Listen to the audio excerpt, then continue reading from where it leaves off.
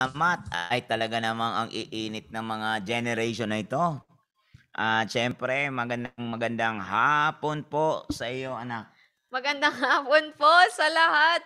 Magandang hapon, Pastor Dong. Mhm. Magandang hapon, mga ka-daily life sharing. Andito Yes. na naman tayo ngayon sa ating magiging mainit na usapan. At Oo of nga. course, good afternoon kay Pastora May. Dahil wala ka ngayon at nag-aaring king, king aring king king ka dyan, eh makitawa at makisaya ka na lang sa magiging kwentuhan ngayong hapon. Ayan. Oo nga. Pastor, mukhang napaka-iconic nung ano eh, no? Naka, napaka-iconic nung naging kwento ng mag-asawa kahapon. Na ganun lang kabilis yung naging ligawan. Ganun naman talag- tagal na nagkatuluyan. Ngayon! Ah, talaga naman. Walang hanggang pag-ibig! Ayun! Oo, syempre, talaga naman, pag galing sa Diyos, talaga anak, eh, makikita mo na ang pagkahinog. Yes. Pag pumasok na doon sa ah, time of responsibility, ay yung mga mabigat gumagaan. Yun talaga, Oo, Pastor. mga Yun mabigat, talaga. pagaan. Kasi walang consequence, eh, no? Oo, walang kapalpakan dun eh. Kaya itong mga kabataang MC natin ngayon, talaga, Krager, talaga naman, ha? Ikaw, anak, ha? Improving Ah, talaga si Krager, improving, Pastor. ah. Kanina sabi ko nga, eh, parang may tono yung way ng pag-host ni Oo, Krager. eh. ah, at syempre, itong dalagita, sino Si ba to? Ella! Hello po. Good afternoon po. Pala. Wow, Yan. talaga kayo mga bata. Ah, salamat sa inyong mga anak. At talaga kayo ang mga generation na magiging victorious bukas. Yes. Oo, kasi your obedience today is your ah, security tomorrow. Amen. Yan, yan yung assurance ninyo bukas. Kaya sunod lang one at a time. Sunod lang one at a time. Para talaga naman pag ang Diyos ang sinunod nyo at ang mga salita niya at yung mga lingkod niya na kung pinagkatiwala sa mga buhay nyo, ay pinagpala talaga kayo. Kasi hindi ko narating ang narating ko ngayon kung wala talagang tao kung pinayagang magsalita sa buhay ko. Oo, ganun yan mga anak. Ngayon, masasabi mo pa lang, ay parang may gusto ko nang gawin. Pero dahil nagpa-coach kayo, kahit nga mga ano no, boxer na magagaling adasa, anak. May training. May Pastor. trainer, may coach. May coach. Oo, eh, May proseso. Oh, di ba yung ating pambansang kamao ay may coach siya, no? Exactly po, Oo, Pastor. kahit sabihin mong pambansa na siya, hindi pa naman tayo dumating sa pambansa, pambarangay pa lang tayo eh. Pangkapitbahay pa nga lang yata eh. Oh, kailangan mayroon na tayong coach. Walang kita kung walang liwanag. Oh, yun. Oo. T- Kaya nga, hindi, walang kita kapag madilim. Ah, ah, Kaya dapat habang bata pa lang, nakikita na nila ang liwanag. Yun, kaya may paningin. oh. Yan. Kaya may kita pag may liwanag. Exactly, Oo, Pastor. walang kita pag madilim. Oo, kaya wag nang magdilim mag, mag, mag, mag ano Oo. mag-enjoy sa dilim, mag-enjoy sa Oo, liwanag. Doon tayo, i- i-expose natin ang ating sarili sa liwanag. Huwag magtago sa dilim. Exactly. Ka- kagaya na sinas nung tinulong mo pastor nung linggo sa ating simbahan. Kaya nga nagkaroon ng distress kasi talagang nag nag-maintain ng irresponsibility. Oo, nag-maintain ng ignorance. Exactly. Ipinipilit yung alam na hindi naman pala tama. Totoo po, Oo, pastor. yung alam natin, na tingin natin, mabuti. Ay, nako, mga anak, tingnan nyo ang paningin ng mga nakatatanda sa inyo. Kaya Kasi, hab- oo, sila ang the best na magbibigay sa inyong na napakaliwanag na payo. Exactly, pastor. Kaya nga habang bata pa lang i-enjoy. I-enjoy nila yung proseso. Oo, yung kaya, oo, kaya salamat Ella at salamat Krager, ha? Ayun. Ayan. Salamat praise sa mga host natin ngayon. Dahil mga kaabangers, hindi tayo natatapos sa mga kwento. Talaga namang napakadaming kwento na punong-puno ng buhay, punong-puno ng aral, punong-puno ng inspirasyon para sa ating lahat. Pang Amen. magpatuloy tayong lumakad doon sa maliwanag na pinapagawa ng Panginoon sa ating mga buhay. Kagaya nga ng mga naging kabataan nating mga host ngayon mataas ang kanilang pagsunod at pag-enjoy sa paglilingkod, eh madidiscover din naman natin ano kaya yung naging journey naman ng ating mga ho, ah, ng ating mga guests ngayon. Maliwanag na maliwanag na sila ay nagliwanag, Pastor! Oo, Ayun. at maglililiwanag pa. Exactly, At Pastor. magniningning pa yan, kagaya ng kaningningan ng Panginoong Jesus. Amen. Amen. Oo. Pero syempre, meron at meron naging proseso. Hindi naging ganun yung, hindi naging instant. Meron at meron talagang mga pinagdaanan. Pero salamat sa Panginoon sa mga pinagdaanan. Eh,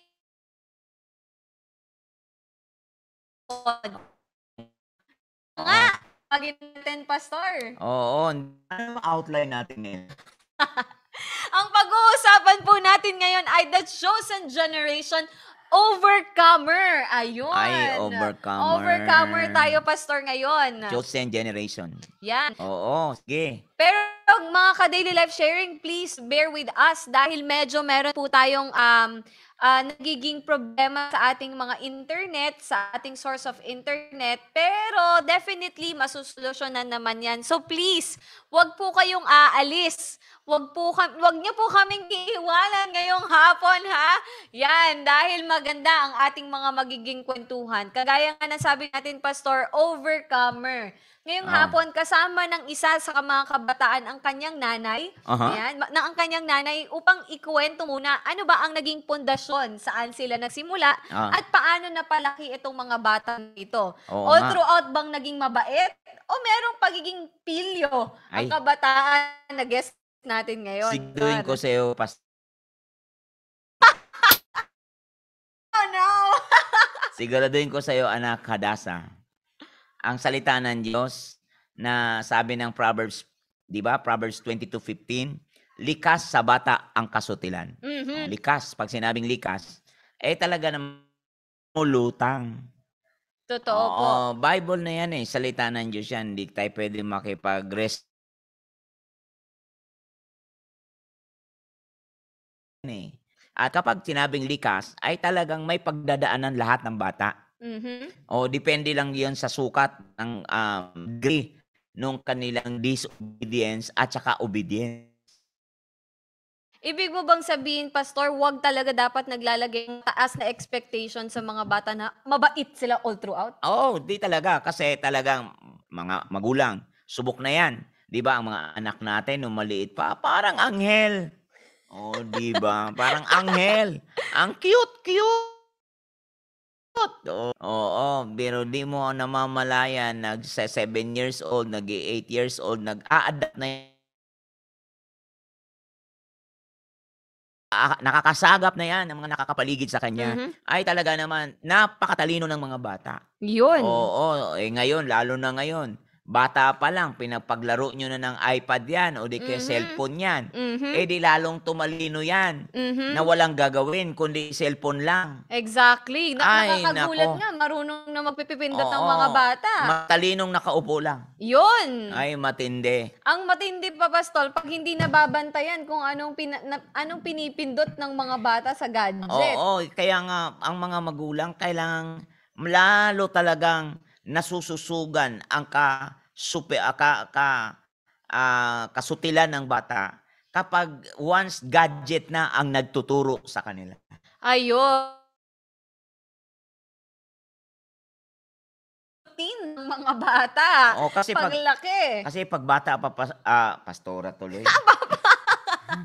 pag bata, Pa, anak, anak, anak, Anak. yung nandito ngayon bata ba? pa anak. Yan, namimiss na, na, si, na, namimiss na ni Pastor Dong si Pastora may mga ka-daily life sharing. ah. Pag bata Ayan. pa anak kasi mga magulang ganito eh. Para Mm. mayroon silang magawa. Opo. O maglaro ka na nga lang ng gadget diyan. Para matapos nila yung gusto Oo, nilang para gawin. matapos yung gustong gawin. Mhm. O maglaro ka na nga lang diyan.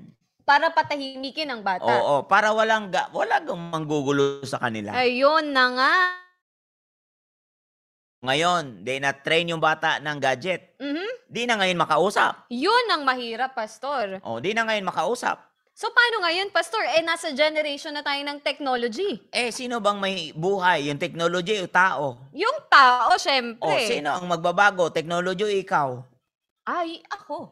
O, anong gagawin natin? Di baguhin natin ang ating pamamaraan sa bata. Exactly. O, kaya nga kung gusto natin ng generation na chosen, generation na masasabi mong sulit, bakit di mo bigyan ng notebook at ballpen yan magsulat ng kanyang pangalan? Mhm. Tama po, tama. Ballpen at notebook, magsulat ng kanyang pangalan.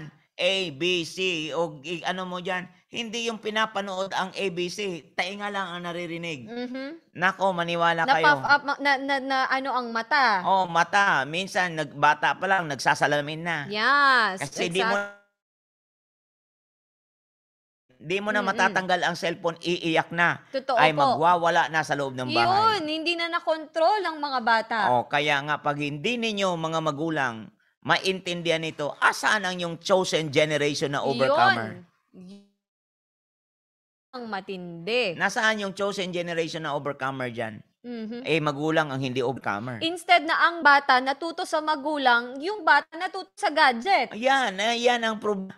Kaya mga kaabang, Diyos ko, hallelujah, para di tayo bangungutin bukas. Mhm. Huwag tayo bangungutin bukas. Exactly. Lugi ang bata.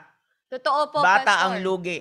Kaya nga mas naging ah, naging kabataan kagaya ninyo. Kagaya actually kami din hindi naman po kami lumaki ng gadget based eh. Oo. Mas nat, nag, mas naranasan namin yung larong mga nasa kalsada, larong nasa loob ng Oo, bahay. pinapawisan pa. pinapawisan. Eh, ang saya. Exactly po. So, mahirap magkasakit. Oo, At hindi lang mahirapan. yun, hindi nagiging hindi masyadong sensitive. Hindi oo. hindi hindi rin touchscreen. Oo. hindi ganun ka touchscreen ang mga personality ng mga Okay. Kailangan, kailangan makita natin to. Romans 15.4. Mhm. For whatever things were written before. Mhm. Oh, anong purpose? Were written for our learning. Oh. Mhm. Written for our learning that we through patience and comfort of the scripture might have hope. Oh, yan. We, sabi niya that we through patience and comfort of the scripture, patience and comfort of the scripture, we might have hope. Kaya nga, everyone, mayroon talaga tayong ma-experience ng season of pressure. Yes. May season of pressure, may season of difficulties, may season of pain. Hindi tayo hi- hindi tayo pwedeng makawala diyan. Hindi tayo pwedeng ligtas diyan na meron at meron at meron at meron. Saan yan manggagaling? Sa marriage. Saan yan manggaling sa sakit? Saan yan manggaling sa, financial setbacks? Saan yan manggagaling sa conflict, sa criticism? Ah, Lahat yan ang mga pinanggagalingan. Pero anong sabi ng salita ng Diyos? For whatever uh, were written before. Bakit ni sinulat noon yan? Kasi sinulat yan para tayo turuan. Hmm. O yan, para tayo turuan that we through patience, pag sinabing patience, pagtsatsaga, ibig sabihin ng pagtsatsaga ay dumadating kapag may pressure. O pagdadating, kaya doon tayo magiging overcomer. Doon tayo magiging chosen. Doon tayo magiging overcomer, maging chosen in times of season, experience of season of pressure, difficulties, pain, and lahat ng ito, di tayo pwede, walang exempted. Hmm. Walang exempted. So if you are chosen, you are overcomer in this kind of thing. Mhm. You are overcomer of this kind of problem sa mga bata, saan mang area, saan mang lugar. Di tayo exempted mga magulang. Kaya nga napakahalaga, mayroon ding broken relationship, broken friendship, mga opposition. Ay lahat yan, may mga rejection, may mga lahat difficulties. Lahat ito ay masasabi natin na mayroong darating. Sabi ng John 16.33, In the world, you will have tribulation. Hmm.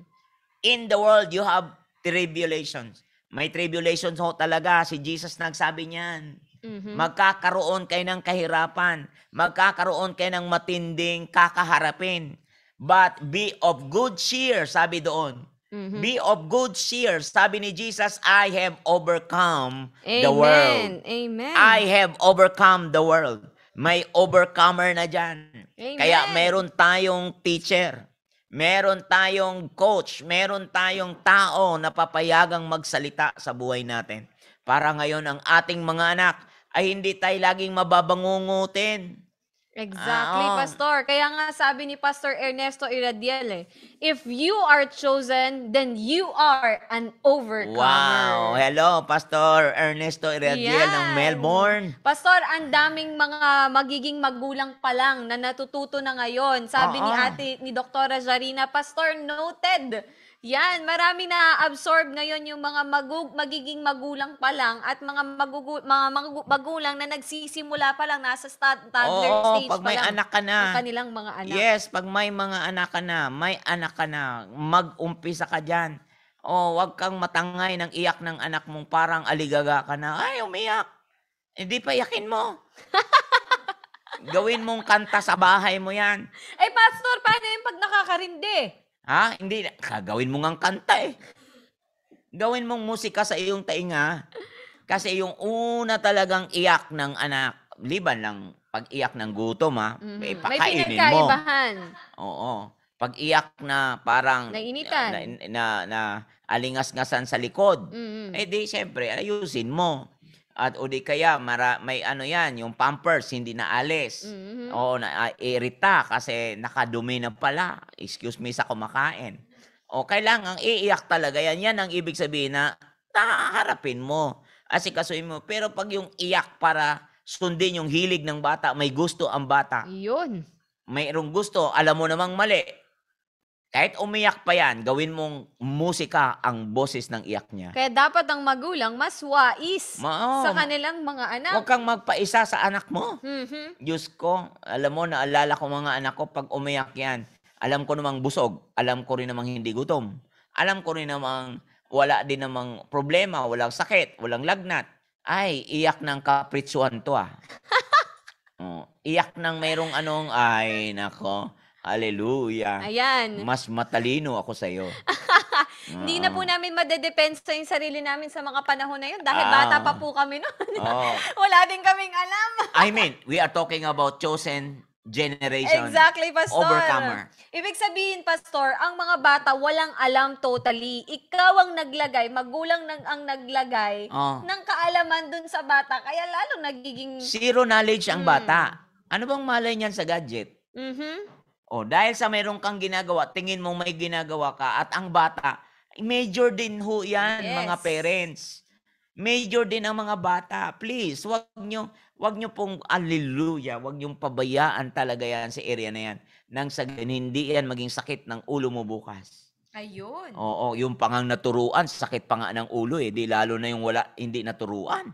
Tama, Oo, Pastor. yung mga na-train na eh, sakit pa nga rin ng ulo kasi na-adapt nila sa labas ang da- di, dapat sana nilang ma-adapt. Mm. Oh, Instead na, magulang ang nagturo, Oo. iba ang nagturo. Iba ang nagturo. Gadget ang nagturo. Oh, barkada ang nagturo. kaya kailangan ho tayo. Gusto mo ng chosen generation? Gusto mo ng overcomer generation? Let's do this. yes. Oo. Etong ating bisita ngayon. Wow. Yeah. Yun. Ang ating bisita ngayon Oo. ay isang, of course, isang kabataan, 12 Aha. years old, 12 years old, Pero aha. syempre, bago tayo pupunta dun sa 12 years old, syempre walang anak kung walang nanay, walang Oo nga, tatay. Oo nga, oo. At kasama niya ngayon ang kanyang nanay at ang nanay niya ay nagtatrabahong full-time housewife. At trabaho din yun, Pastor, ha? Oo, gawain din yun. Trabaho din yun. Alam mo, alam mo anak, ang pinakamahirap na trabaho din ay yung full-time housewife. Bakit, Pastor? Biro mo, apat na corner ng bahay lang ang ikot-ikot ka dyan. Tapos ang kausap mo, Kausap mo sila-sila lang din. tapos ang kausap mo, iiyak lang ng iiyak, hindi ka rin naiintindihan. Oo. Tapos ikaw pang, ma- ikaw pagod ka na. Pakakarating lang ng bata. Ma, sinaing ba? Pa, hindi, Yun. Oo. Ginawang katulong pa yung nanay. Oo. Bi- Di, biro-biro ang full-time housewife. Mhm. Ay, nako. Maniwala ka yung maliit lang na bahay na ah, nasulok na napaikot-ikot dyan. Napakaliit no na.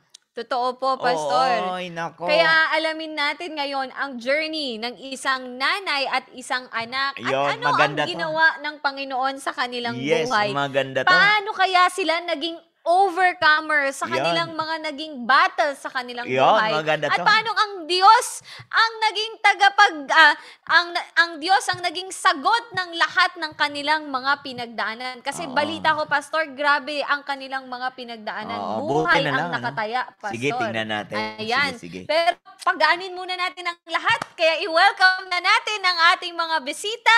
Ayon, ang ating chosen generation overcomer from Imus, Cavite, si Natanya Alfiler at ang kanyang mama na si Tita Ria Alfiler. Hello po! Good afternoon, Natanya and Tita Ria. Good afternoon, Dad. Good afternoon, Pastor Dong. Pastor May. Amen. Good afternoon. Ba, talaga. wa- Bati muna kayo. Batiin nyo muna, anak.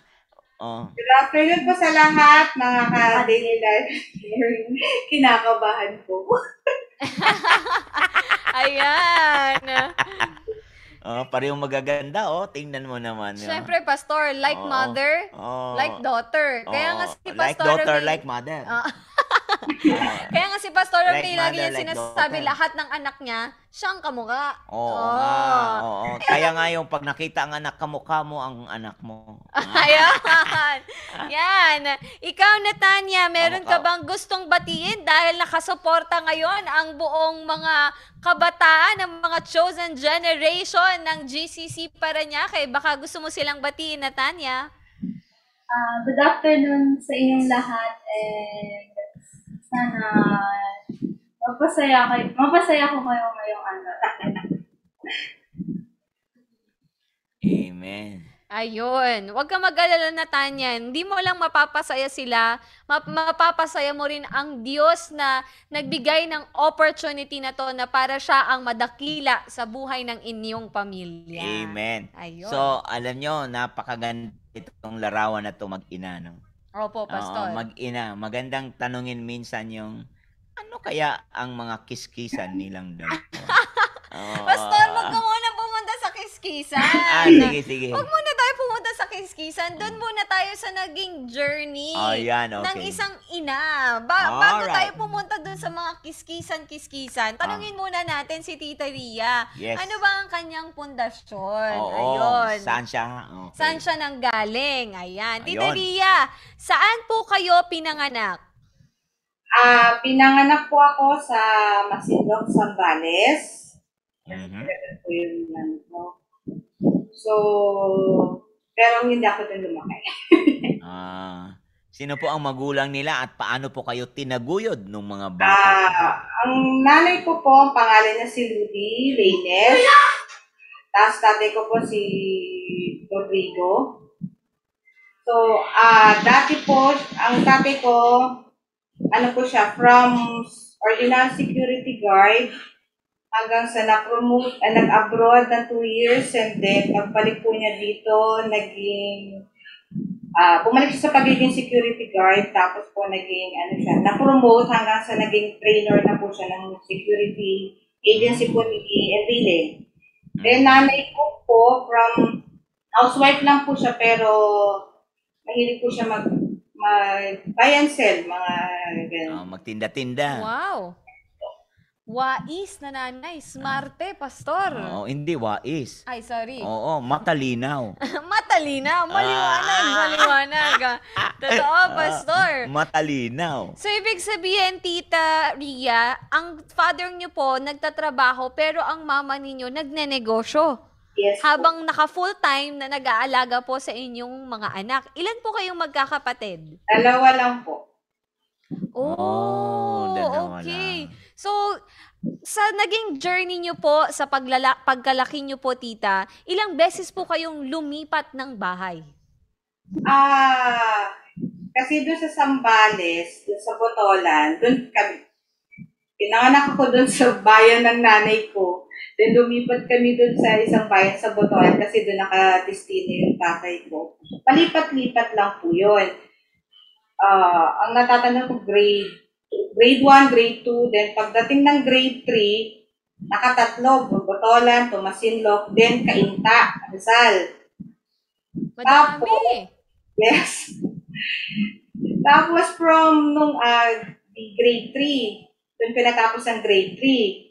Tapos grade 4, nag-start ako doon. Then lipat ako ng Bataan. So doon, med, doon na kami nag-settle sa, Bat- na, sa Bataan. Hanggang makagraduate na ako ng high school. Mm. Tapos tita, pagdating ng college, nakapag-aral pa po ba kayo? Naging sobrang hirap po ba ng inyong buhay? Ah, sakto lang po. Nakapag-aral naman kasi po yung lola ko ang nag, ano sa amin, nag-sustento. Kasi nasa, ano po siya noon, nasa US po. So, siyang nag, ano, siya nag-provide. Wow. Yun, masarap naman pala, Pastor, kasi merong tumutulong na lola. Oo. Ayun. So, nakapag-aral po kayo in short, tita, ng college. Yes po. Ano pong natapos ninyo, tita? Ah, business administration, major in marketing. Oh, okay. professional, Pastor. Oo. At sa pagta- pagkatapos po ng pag-aaral ninyo, tita, um, nakailang boyfriend po kayo all throughout. Ayun. Oo, tita, para matuto. Hindi, dapat ano muna, Ano, anak. Pastor? MU. Hindi, may crush ka ba na? Ah, Ah, ng crush. Oo, Ayun. di ba? Kasi yan ang una eh, crush eh, no? Oo. Crush raw muna, tita. Oh, crush Oo. lang muna. Meron po. Meron naman po. Normal lang. Ilan taon ka nung nagka-crush ka, tita? Grade 6. Grade 6! Natanya, anong grade mo na? Grade 6 po. Oh, pastor! Tama! Natanya! Grade 6, nagka-crush ang iyong mommy. Baka may i-confess ka rin na grade 6, nag-start. Ikaw ba, Natanya, meron ka na rin bang crush ngayong grade 6 ka na? Boys, wala. Oh, wala dahil nandiyan dyan si mami. Oh, meron kapag friends ang kasama. Wala, talaga, pastor. Ikaw ha, na, nandudukot ka para kang si mama mo.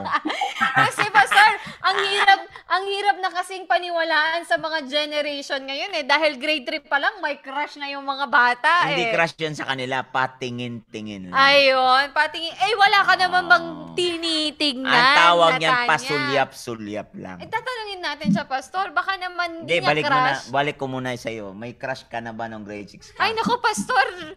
Ah, hindi lang po crush. Nagkaroon ako ng boyfriend. Hindi ko alam yun ah. okay lang, pastor. May asawa na ako. Ala, hindi ko alam yun ah.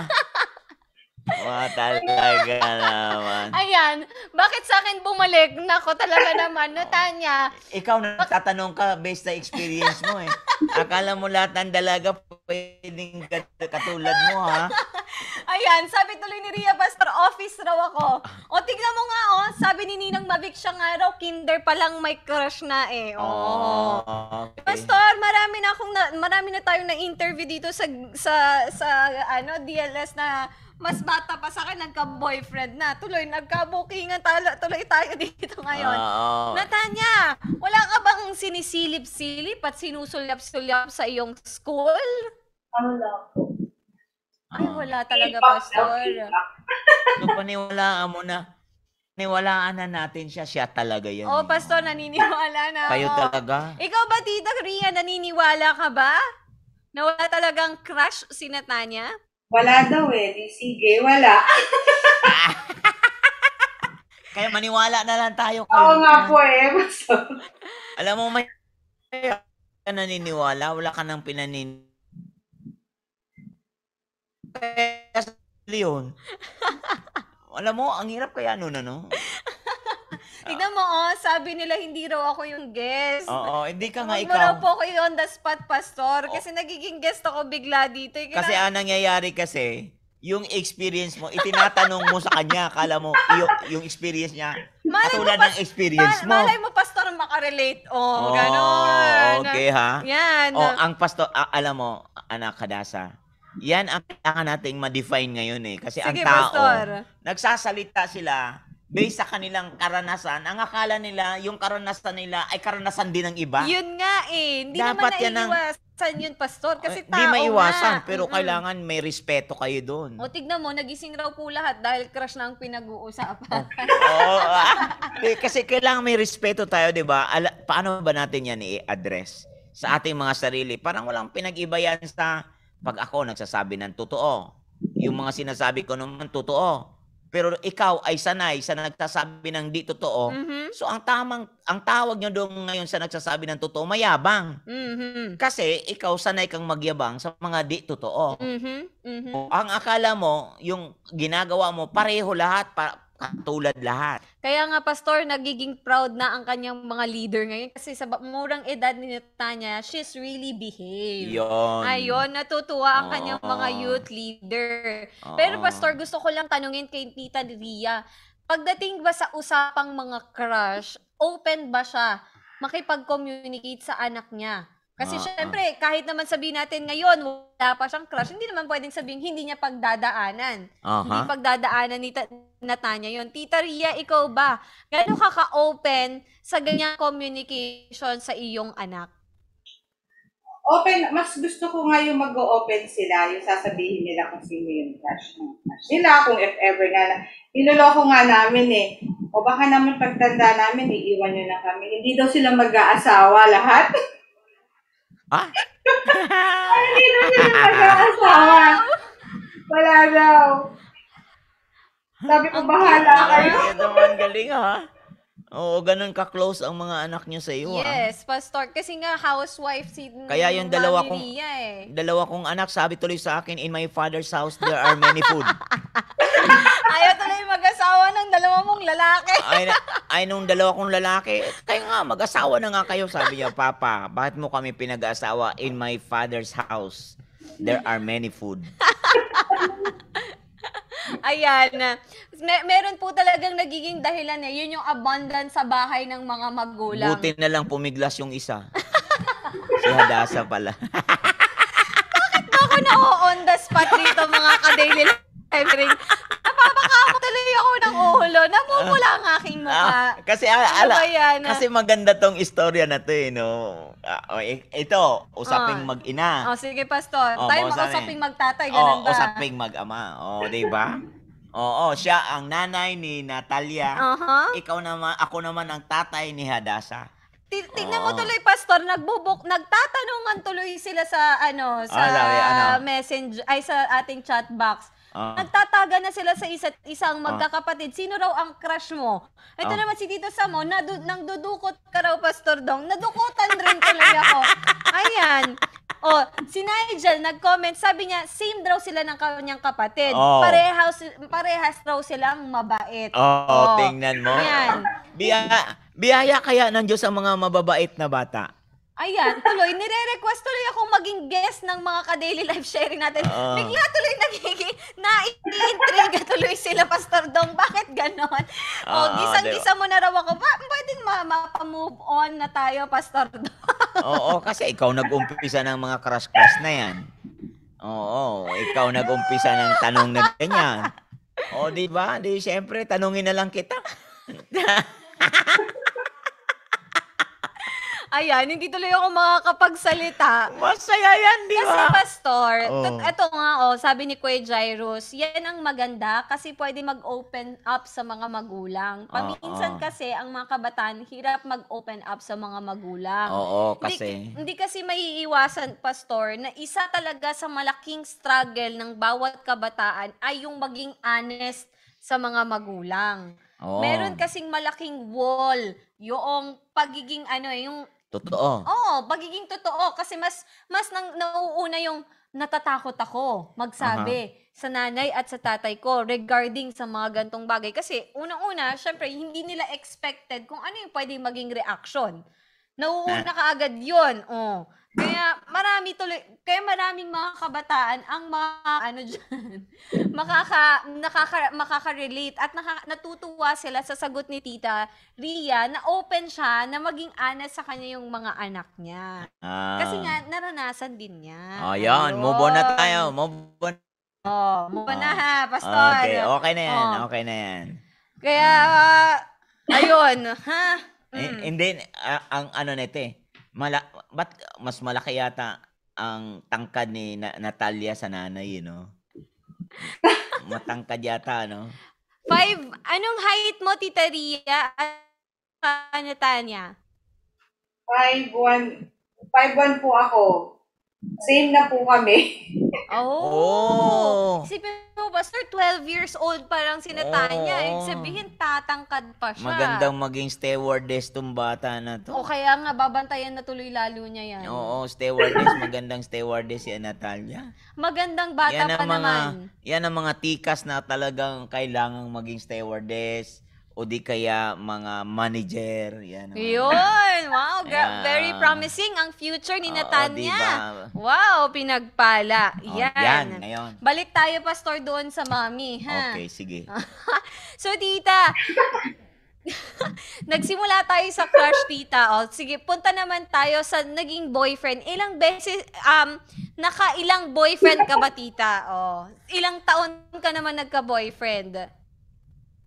College naman na po ako nagka-boyfriend. Oh, Oh, college college na. na. Oh, Basta, sakto na. yun na. Sakto na. College, So, college, tita, nakailang boyfriend ka po nung college? nagbilang. Tatlo? Oh. Oh, nag- Nagulat si Natanya, Pastor! Nagulat si Natanya, hindi niya Okay, in-expect. ikaw naman tanungin kita. Oh my God. Kailan ka nagka-boyfriend? Bakit ba ako naiipit talaga naman? ah, Pastor, Alam mo ba, tanong ka ng tanong? Pastor, Oh. yun yung usual na question natin sa DLA. Oo, kaya nga. Oo. Maganda nga to eh, di ba? Di ba? Ay, mga kabataan, bakit ba ako naka... Ako, ako gusto ko lang makipag-usap din na parang kabataan kasi chosen generation nga, di ba? Paano ba kami lulugar bilang magulang sa mga anak namin? Pastor, tignan mo, oh, meron ng gustong mangkutos dito. Sino? Bata pa raw yan, tita. Kukutusan ko din yan pag nagkaroon. Yung anak daw ni Tita Weng Molera. Kasi sabi ni Tita Weng, si Denise raw, wag na raw muna magbo-boyfriend. Meron mga, meron mga pagbabanta na nangyayari sa ating comment box. Bakit ganon? Boyfriend at saka crush ba naman ang pinag-uusapan, Pastor? Wag na muna. Ako, mapapayo ko, wag talaga muna. Mhm. Kung maaari ah, wag na muna kapag sinabing inspiration, magandang inspiration yung Magulang muna. magulang at yung pag-aaral, yung purpose, magandang inspiration yan. Walang, o, di ka madidiskaril dyan. Sigurado ako dyan. Kaya, kung mayroong mang pinagdaanan ang mga magulang, kung maaari, wag nang ulitin ng mga anak. Mhm. Wag ulitin kasi alam na rin ng mga magulang eh. Sana di ko na lang sana dinaanan yun. O alam din naman nila yun eh. At sila ang the best na coach sa kanilang mga anak. Totoo po, Pastor. Sila ang the best na coach. Ngayon, ang mga anak, kailangan meron silang taingang makinig. Marunong makinig na Ayun. tainga. Yan, Eh okay. kasi ako nung lumalaki, wala akong tenga masyadong makinig. Kasi mas nagkaroon ako ng tengang manood ng Korean drama, Oh. ng mga love story. No? Yes. Tama mong bata. Kaya ka napaka madrama eh, no? madrama ka eh, no? Hallelujah. Kaya, gisang-gisa talaga mga Madra- kabataan. My Ma- gosh. Alam niyo po, hindi ng ah, hindi lang inyong anak ang problema. Problema rin pala itong anak ko na to, anak ng pastor.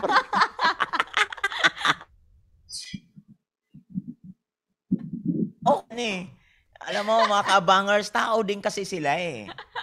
Oo, hallelujah. Tao din kasi sila. Kaya, anong gagawin namin? Kundi ang salita ng Diyos ay ilatag. Kung maniwala, pinagpala. Kung ayaw maniwala, di pinagpapalo. Yun talaga, Pastor. Kaya nga, yung konsekwensya naman, ang totoong namalo. Oo, mas ma- di ba? mas masarap pala na ang ma-enjoy mo na lang, matuto ka na lang doon sa naging disiplina ng magulang kaysa ang tumama sa sa huli ay yung konsekwensya Oo. ng katigasan ng ulo. Kaya hindi naman po talaga honestly hindi naman po ako nahihiya na ang tawag dito na i i-open ito kasi marami naman po talaga din kabataan ang nagiging biktima ng maling mga panahon na pinagbabara nila ng kanilang mga oras. Kaya nga sabi ni Pastor Dong kanina, yung gadget, 'di ba sabi mo Pastor, napakalaking factor nung gadget kung ano ba yung pinaglalaanan ng panahon ng inyong mga anak. Syempre, hindi nyo po maiiwasan. Kami kasing mga anak ng mga pastor, may ano po to, ito isa sa mga reality ng mga anak ng pastor, ano, dahil ang mga magulang, ang mga pastor, marami talaga silang oras na nagugugol sa pagbubuo ng buhay ng iba. Sipin niyo po ang mga pastor 24-7 on call. Kapag may isang miyembro na mo problema alas 2, alas 3 ng madaling araw, gigising yan para asikasuhin or unahin magbuo ng buhay. So, hindi po naiiwasan. Kaya kadalasan, ang mga anak ng mga pastor, nagkakaroon ng hindi na nababantayan or natututukan talaga totally ng mga magulang kagaya ng mga kagaya ni Tita Ria, full-time na housewife pastor. Hindi po naiiwasan. So, sa amin, dahil alam namin kung ano, ah, ganito yung nangyari sa akin eh. Dahil alam kong busy si mama at saka si papa, ganon. But may chance akong magkulong ng kwarto para manood ng Korean drama ko, ganon. So, nangyayari sa akin, manunood ako hanggang alas 4, hanggang hanggang 5 a.m. ng morning pa. Dati yun, mga kabataan days ko, okay? So, manonood ako hanggang ganong oras, tapos ang end up ko, papasok ako ng school, 6 a.m. One hour na lang ang tulog. Napahawak ako sa noo ko. Ayan, tinanong mo kasi. Anak, kinukwento. Natalia, kinukwento namin ito para sabihin sa inyo na may bangungot din ako. Mm, totoo Ah, ah, po. I mean, ay para makita natin to ah. Hindi naman lahat ng pastor, anak ng pastor ganon. Mm, Depende yan eh. depende Kung talaga ano po. ang ah, ano ang ating expect ang ano ang ating exposure. Mhm. Ano, kung paano natin inano. Di naman lahat anak no. Di naman din lahat ng anak may problema. Kasi sa apat kong anak, di naman lahat ay may problema. So mayroon din may may honorable diyan, may dishonorable diyan. Totoo po. Totoo Oo, yan. mayroong pwedeng i-display diyan, may pwedeng hindi. Mhm. So, yun talaga yan. So, ngayon, balik tayo doon kay, kay Ate Ria, no? Sister Ria, di ba? Paano mo ba, o, di ba, kailan po ba kayo nag-asawa? 27 na po ako. Ha? 27 na po. Oo, hinog. Hinog sa panahon yun. Mhm. O hinog sa edad. Hinog sa At saka panahon. pa, nagtatrabaho na si Tita Ria nung Oh. panahon na yun. Kayo ba'y nagtatrabaho na noon? Apo. Oo, you see? O, kita mo. So, isa pa, may trabaho na. Kaya, yun yung hinog ng panahon. Ayun. Oo, Saan hinog po ba talaga. kayo nagkakilala, Tita Ria, ng iyong darling husband? At ano Ah. pala name ng husband mo, Tita? Jason po. Yun. Kuya Jason. Ilang taon po si Tito Jason nun? 30. 30. Wow, hinog na hinog. ah, so three years po ang age gap ninyo. Oo, hinog na hinog. Grabe. Oh. Saktong-sakto talaga yun. So, paano, Tita, kayo nagkakilala ni Tito Jason? Ah, kasi po siya sa insurance company siya nag-work nung time na yon. So ako sa insurance agency. Boss ko that time si Miss Cathy Uy. Oh, So, si Tita Cathy. So since na magkano yung work namin ni Jason po, ah kliyente niya kami kasi agent, insurance ah, agency po kami. So siya lang pong kausap. Mhm. Usap-usap ganyan. And then, one time, ah inutusan po ako ni Miss Cathy na pumunta doon sa insurance company. Sa kanila, kukunin ko yung insurance policy. Mhm. So, yun. Doon magkausap na kami matagal na po. Pero yun yung first time na nakita ko siya. Kasi nga nung may kinuha kong insurance policy sa kanya. So, yun. Tapos, tanong ni Miss Cathy, anong itsura? Sabi ko, okay lang. Sabi ko, gano'n. Tapos, ayun, nag-start na ng tuksuhan. Uy, ganyan, ganyan. Ah, so si Tita Cathy po pala mayroong malaking role. May malaking Yes. kinalaman sa naging love story niyo ni Tito Jason. Tita Cathy, po. mag-comment ka na nga po dyan. Ayan, nag-comment na si Tito Jason. Sabi ni Tito Jason, Hi! Hello! Ayun. Ayan, sabi ni Tita Cathy, oh, present po ako sa love story nila. Wow, laga So- naman. Tita, Tita Ria, ano naman, dahil merong kantsawan, nagkagusto ka naman ba kaagad? Hindi. Ay, di naman pala. Ano siya? So, nung tinanong niya ako, sabi niya, anong itsura? Sabi ko, okay lang, ma'am. Gwapo. Sabi ko, okay lang. Tapos, nung sumunod na may pina-issue kaming insurance policy, si Miss Cathy naman ang pumunta. So, para makita din siya. Kasi, ano siya sa ano okay lang? Sabi ko, basta okay lang. Sabi ko. Tapos siya, pinuntahan niya, sabi niya, Uy, gwapo naman pala. eh. Sige na, sige na, ganyan. Yun, tapos nagkakalive. Nagtutukuhan na sila. No, pwede naman pala, Wow. pwede naman pala, ganyan, ganyan. So, ang laki po pala ng kinalaman ni Tita Kati dito, ano? Yes. Nag-investiga din si Tita Kati. Nagpaka-bridge sa inyong dalawa. Wow, tulay na tulay ka, Tita Kati, ha? Tulay na tulay. So, nag after po nung mga naging ligawan days ninyo, gaano po kayo katagal na nagligawan? Yun, sandali lang. Ah, Nag-miss- San- Sandali lang. I think, one month, two months, mga ganun lang. One month? One Tapos, two tita, months. nagpakasal na po ba kayo pagkatapos?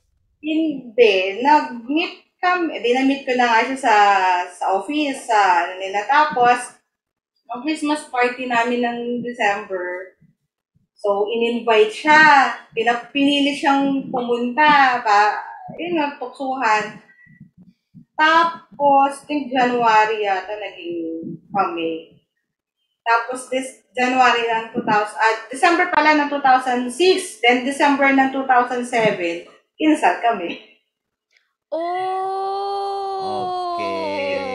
Praise God. So, saglit lang din na panahon. Hindi naman sobrang saglit. Tamang panahon lang, Tama lang, Pastor, na sakto lang. nagkakilala sila. Sabi ni Tita Kati, uy, sa telepono lang po sila laging magkausap hanggang sa nag-meet na po sila personally. So, ibig sabihin, Pastor, naging ano muna, ano ba tawag doon? Kung sa, sa, sa sulat, pen pal, sa to, sa call, ano ba tawag doon? Phone pal, phone pal. Phone pal. Phone pal, okay. Tita, may tanong si Nigel kay Tita Kati, uy. Dahil hindi mo raw inaamin. Sino po ang unang in love? Kasi ayaw po sabihin sa akin nila mami, eh sabi daw po si daddy. Ta- ni, ay sabi raw po ni daddy si mami. Pero nagdi-disagree naman po si mami. So sino raw po sa inyo dalawa ang totoong unang na in love? Ayan, sag- i-clarify nyo na nga raw po ito sa inyong mga anak. Ayaw kasi nilang may... kasi nga ba sabi ni daddy niya, Nako, si mami mo yung unang nagka-crush sa akin. Sabi ko, hindi kita crush. Sabi ko, gano'n. kasi, kasi sabi ko, kung crush kita, edi from time na tinanong ni Ma'am Cathy na anong itsura, edi kung crush kita, sabi ko, ay, gwapo, gwapo. Eh, hindi naman gano'n ang sagot ko eh. So, ibig sabihin, Pastor, na-enjoy niya lang kausap. Kasi Oh. nag- nagka-phone pa. Siyempre, kung hindi mo naman na-enjoy na kausap, hindi mo naman nasasagutin yung tawag eh. Ah, okay. Oh, pero nung nakita niya ng personally, ano yung tita nakita mo personally, may pagka-dismaya ba? Ganon ba yung nangyari, tita? hindi naman may suplado effect kasi nga sa office. Di sabi ko, pwede kay Sir Jason, di. Sabi na, bakit? Sabi, ito yung policy ni ganito, di binigay sa akin. Then pagbigay sa akin, tumalikod na siya. Okay, di sige, di wala lang. Ten, walang ten. So pagbalik ko sa office, sabi ni Ma'am Cathy, Ri, anong itsura ni Jason? Okay lang, ma'am. Okay lang. Ano no, gwapo?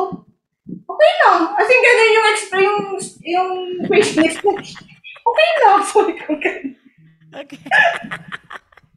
Ayun. Laging ganon. So, parang ano, Pastor, eh, walang pinagkaiba dun sa tanong na pogi ba? Mabait. Oo, mabait. Pogi ba? Mabait. Mabait.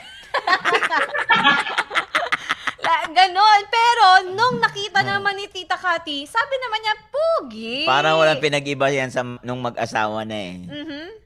Pa- Sabi ni babae, Papa, mahal mo ba ako? Binigay ko na lahat ng sweldo ko sa iyo. Hindi na lang masagot ng diretso, Pastor. Ah! Bakit nga naman ganon? Tapos, ma, Daddy, mahal mo ba ako? Mayroon na nga tayong limang anak. Carl ko, sinasabi ko talaga sa'yo. Mayroon na nga tayong limang anak eh. Oh, hindi masabi-sabing matumbok na mahal eh. Tumbukin na lang kasi. Oh, para hindi na mahaba ang usapin. Oh, Ayun. na lang dapat.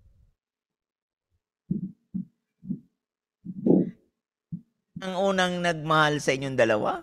Sino ba talaga? Eh, Sino ba pastor, talaga? meron ng umamin eh. O, sino? Sabi ni Tita Cathy, ang tanda raw niya, ang una raw talagang nagkagusto na in love si Tito Jason. Oo, madalas yun naman talaga yan. Lalaki eh. talaga, pastor. Madalas yan yun. Ang problema, hindi maintindihan. Bakit pag mag-asawa na, ayaw umami ng lalaking siya ang unang na in love? Ano na lang yun? Pampasaya. pastor?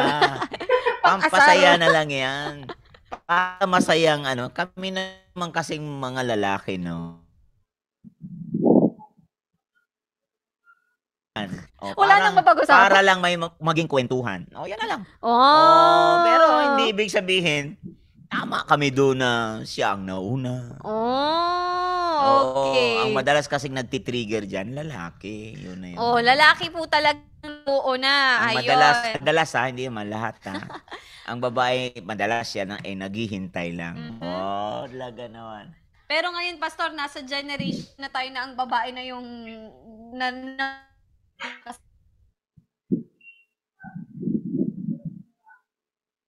Then, Maram, karamihan na po. Yun, rin. karamihan na. Oh,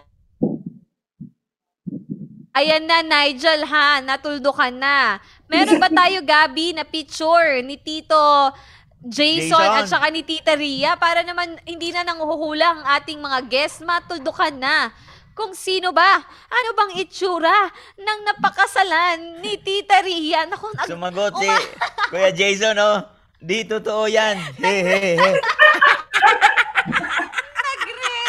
Ayaw niyo pong aminin.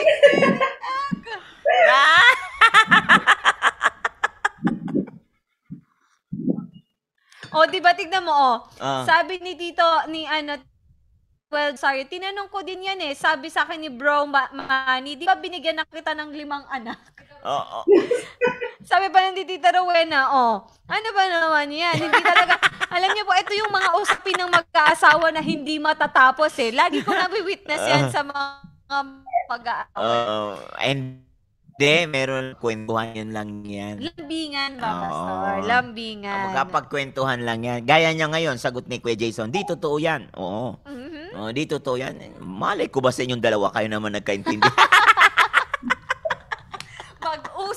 Kayong Basta ang dalawa. mahalaga, may Nigel at saka Yeah, Pastor, hindi lang Nigel. Natalia. eh. Alam mo ba, alam mo ba, Pastor, hindi lang naman dalawa ang kanilang anak. Oh. Tita, ilan ba ang naging bunga ng inyong pagmamahalan Yon. ni Tito Jason? Five. Merong lima. Lima, Pastor. Siguro ang gwagwapo at gaganda na. Oh, hindi ba mali- ma- patunay, Pastor, Kasi ang maganda limang tong anak? si ano eh, si na, Natalia. Mata- maganda at gwapo talaga, Natalie, Pastor. maganda to eh. Siguradong gwapo at maganda yun. Kaya nga patunay, Pastor, na in love na in love si Mister kasi nakalima. Oh, nang, Oh. Oh, balik na lang tayo dyan. Oo, Oh, di ba? balik na rin. Okay, diretso. Kasi nga sabi, oh, pinagpala na raw si Tita Ria. Lima pala anak Ayan. niya, Tita Ria. No? Mm. Lima pala. Yan, Wow, Tita, galing. ilang years na po kayong mag-asawa ni Tito Jason? Okay, 15. 15 Ah. years? Okay, 15 po this year. 15 years. Ay, pang ilan si Natalie? Pang gitna po. Natanya. Natanya, pang ilan po? Gitna, pangatlo po. Pangatlo. Pangatlo, Pastor. Ang panganay niyo po, Well. Tita? 18. Tapos, ah 13, then 12, then 10, tapos 7. Oh, so ibig sabihin, Oh. Pastor, nag-iisa. Nag-iisang dalaga si Natanya sa apat na Oo puro nga, no? lalaki. So, ang gagwapo nun. Mm-mm. Pero, Pastor, meron akong gustong dukutin eh. Ah, sige, ano? Sabi ni Tita Ria, Mandurukot ka na rin. medyo hindi pa... I got it from my mama. Okay ba, Pastor? Ah, Sabi kasi ni Tita Ria, Pastor Dong, 15 years na silang kasal. Pero ang Okay. panganay niya, 18 years old. Okay. Sige, tita, pwede niyo po bang ikwento sa amin, bakit ka may 18 kung 15 years old pa lang, ah, ah 15 years pa lang po kayong kasal ni Tito Jason? Kasi magla, may mga tanong agad bigla dyan eh. Mm. Oo nga. So, yan, revelation na. Revelation na, tita. Yes, Ayan. relation. So, yun, ah, before kami ikasal, may James. Oh. May firstborn ka po. Yes. Or sa ang may firstborn. Ako. Oo. Ano po yung tita? Anak ninyo po sa pagkadalaga, si James? Yes. Ilang taon po kayo, tita, noon? 23. 23!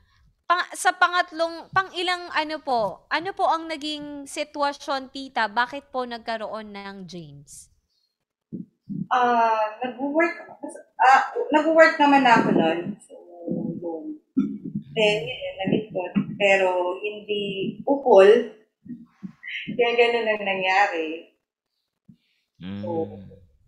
Ano din, may bisyo, thing like that. So, much better na huwag na lang. Oo nga. Pero hanga ako kay Kuya J- Jason ha. Yeah, totoo, pastor. Oo, kasi talaga naman ano, ba, ang gandang puso yun ah.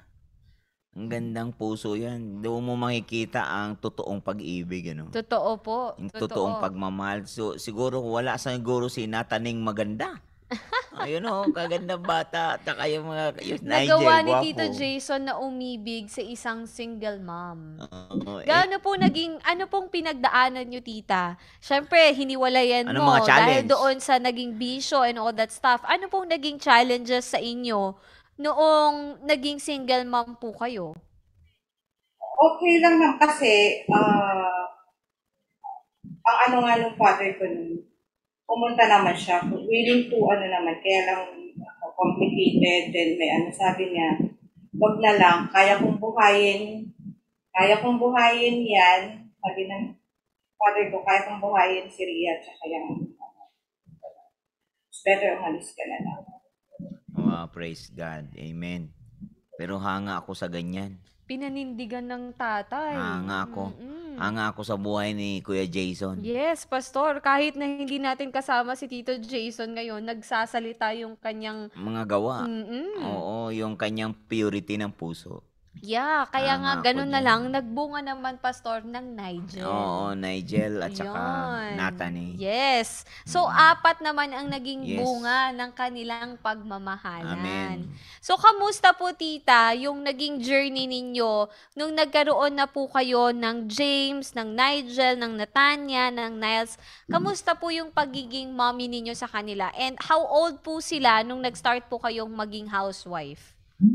Ah, doon sa youngest ko, nag-resign ako ng 2014 kasi wala nang magbabantay sa kanila. Kaya nga yung ano ni Nigel nung nag nag-guest siya, talagang ganun yung at parang naging sabi nga ano yun ah ano yung attention seeker kasi lumaki sila sa yaya. Doon nung mga time nila, time nila, ah, nung, may natanya na po, kasi po yung eldest ko, nasa nanay ko nga po nakatira. So, nung may natanya, dala, may yaya po sila. So, una isa, then nung lumabas po yung, pang, yung si late, si Niles, so dalawang yaya. So, yun po, every, eh, sila lang, sila, aalis kami ng maaga, then uuwi kami, sa tulog na. So, ganun po ang naging ano, buhay nila. Then, nung 2014, edi umalis na nga po yung yaya nila that time. So, yung in-laws ko naman ang magbabantay dapat. Eh, nagkaroon ng problema. So, wala po akong mapag-iiwanan. So, sabi ng tatay ko, mag-resign ka na. So, in 15 days, paalam po ako sa boss ko na re-resign na ako. So, 2000 ilang taon na po yung mga anak ninyo nung nag, nag ano kayo, nag full-time housewife po kayo? 2000, yung bunso po na si Niles po noon, 3 years old. Three years Nigel- old. Ikaw na, Tanya, ilang taon ka nun? Ano po yun? Siguro mga kinder? Okay, in there na 5 siya. or 6 po, mga ganun. Naabutan pa, Pastor. Mm-mm. Ibig sabihin, hindi pa ganun ka-grown up si Natanya nang nag, ano, nang nag-housewife si Tita Ria. Okay. So, Tita Ria, an- paano po yung transition sa side ninyo? Siyempre, full-time working to full-time housewife. Paano po yung naging transition ninyo? How did you cope up with the with ano with yung ano na nyo, current state po ninyo? Sobrang hirap nung una kasi ah ilang years din ako doon una. Noong tu- 2003, nag-work na ako. So, tapos po, 2014, April 2014, yun, nag-stop ako na work. Ang hirap. Na parang hinahanap mo yung corporate work, parang ganyan. Tapos, so ngayon sa bahay ka na lang, wala ka ng hawak na, na pera. Mga ganun po yung ano na, aasa ka na lang sa sweldo ng asawa mo. Ang hirap nung una. So, parang mga ilang, I think one year, two years ko din parang hinahanap yung ang hirap ng adjustment. Oo nga, totoo yan. Ikaw ba, Natanya, meron ka bang naalalang memory nung mga panahon na si Mami working pa? Um, wala na. Wala na. Wala, Ayun ang bata maganda, pa siya nun eh. Kanina po, Maganda sariwa isip nila. Mm-mm. Oo, Yeah. sariwa isip nila. At namulat na lang silang kasama nila ang mami na nila. Exactly. Oo, maganda yon Kaysa doon sa mayroon siyang kara- karanasan na ang mami nila nagwo-work. Mm-mm. Totoo po, Pastor. Oo. So, Natanya, paano ka paano kayo dinidisiplina ng mami ninyo? Um, shout out po and minsan po, ako po is lumaki din po ako sa lola ko. Kasi dati po is nagtatrabaho po po yung lola ko. Doon na po ako, tum- doon po ako na tulog sa lola ko. Ah, tinuruan niya po kung, kung ano lang po yung pagkain na hinain dyan. Yun lang po ang kakainin. Wow. So. Iba, iba-iba po, ibang-iba po ako sa mga kapatid ko, lalo na po kay Kuya Nigel. Kasi, ah, hindi naman, pero, napaka-picky niya po sa pagkain. Nilalaglag ka ni, na, ni Natanya ngayon, Nigel. o, sige, Natanya, tuloy mo yung sinasabi mo. Okay. So. Ah, yun lang naman po yung discipline nila sa akin. huwag maging picky sa food. so laging nagsha-shout out si Mami. Tita, Tita Ria, bakit ka po, ano po yung usual na sinashoutout? Siyempre, normal naman, Pastor. Kahit naman si Pastor Remy, nagsha-shoutout din talaga yan lagi. Oo. Pero ano yung lagi mong sinashoutout, Tita Ria? Ah, nito na lang po kasi puro cellphone po hawak nila. Mm. Wala na po nagagawa, puro cellphone, cellphone, cellphone. O kumilos naman kayo. Yun po. Yun ang mga ano po ngayon na pagkagising cellphone na. Yun po. Yun na po talaga ang kiss-kissan, no? Pa- Pastor, maliwanag yung sinabi mo kanina eh. Gadget talaga eh. Oo, kasi yun, makikita nyo na ngayon, yung mga bata, yung mga gawain dapat sanang gawain na Mhm. marangal, hindi na nagagawa. Na yun naman sana, ay para din yun sa kanila. Yung yung gadget na, na, na ginawa for a good intention, binigay for a good intention, ginamit Nagamit. na abuso. Nagamit sa maling intention. Mm. So nawala sa purpose yung nawala sa purpose yung gadget sa pagkakagamit Mm-mm. na napabayaan yung mga dapat gawin sa bahay. Naalala ko nga, Pastor, eh, nung mga panahon na ganyan, yung mga kabataan days namin, laging nasabi ninyo to ni Mama eh, yung cellphone, ibinigay namin sa inyo para makapag-communicate kami sa inyo ng maayos. Oo. Para ma- ma-reach namin kayo kapag hindi namin kayo matawagan, Oo. ma-communicate, Makita. makita, pero hindi namin binigay ang cellphone para yan mismo ang maging excuse ninyo. o magpalayo sa amin. Mm. Eh ngayon ang nangyari, imbis madaling tawagan, ang hirap ng matawagan. Mhm. Ay nako. Nako. Hallelujah. Hindi cellphone ang problema, ang cellphone yung may ka- ang problema yung may katawan na humahawak sa cellphone. Ayun, kaya pastor, balik tayo kay Natanya. Oo. Natanya, ngayon narinig mo, anong side ni mami mo sa kanyang mga pag-shout out? Ikaw naman, anong iyong side? Ah, minsan po eh, sinasabi ko na gum- gumagawa din naman po ako pero ah sinasabi niya pa rin po sa akin na ah, sinasabi niya pa rin po sa amin na palagi daw po kami sa cellphone. Pero alam mo ba sa sarili mo na sumusobra nga naman yung oras na binibigay mo oo, sa cellphone. Yes po. Ngayon. O kaya may shout naman, out. Pastor. Kaya may shout out. Oo, kaya nga kung sa Tagalog pa yan, kaya nga may nasisigawan. Yun. Kaya nga sabi ni Pastor Remy, kung ayaw mo ng shout out, baguhin mo yung iyong lifestyle. Oo, baguhin talaga. Kasi Mm. parang, di kasi kaya yan na basta lang automatic magbabago. eh. Kasi yung gadget kasi nakaka-enjoy naman din talaga. Totoo po. Nai-enjoy ng mga bata yan eh. Nga lamang yung enjoyment, paano ba natin hinandle na ang enjoyment na yan ay huwag naman mapapayaan yung mas mahalaga na dapat gawin. Exactly. Pero tanungin natin, Oo. Pastor, ano ba yung mga pinagkakabisihan ni Natanya sa gadget? Oo. Natanya, anong pinagkakabisihan mo ba sa gadget? Bakit mas marami kang nagiging time at nag end up na nasya-shoutout ka ni Mami? Ah, minsan po is na ah, parang ginagawa ko na lang po siyang pa- pag alam mo yung pag wala po akong ginagawa, eh, minsan po ginagamit ko din po ito sa school. Ah. Oo. So, ibig sabihin, isang pastime, isang para sa studies. Doon muna tayo sa studies, Pastor. Kamusta naman ang iyong studies, Natanya? Um, okay lang naman po. Yes. Paano okay lang? Baka pwede kang magkuwento. Wala ka bang struggle sa iyong studies? Ah, minsan po is may time po na ah tina- tinatamad na po akong gumawa ng ng mga activities na pinapagawa sa akin. But hindi po hindi po hindi pong tao nagkakagising so y- yung pinapatawag ko yung parents sa school. Kasi po may missing yung bata. Yun po So, kamusta ang grades mo? okay naman po matataas naman po ngayon po is nakukuha yung grades ko this quarter and sana, in-invest ko po na sana mataas.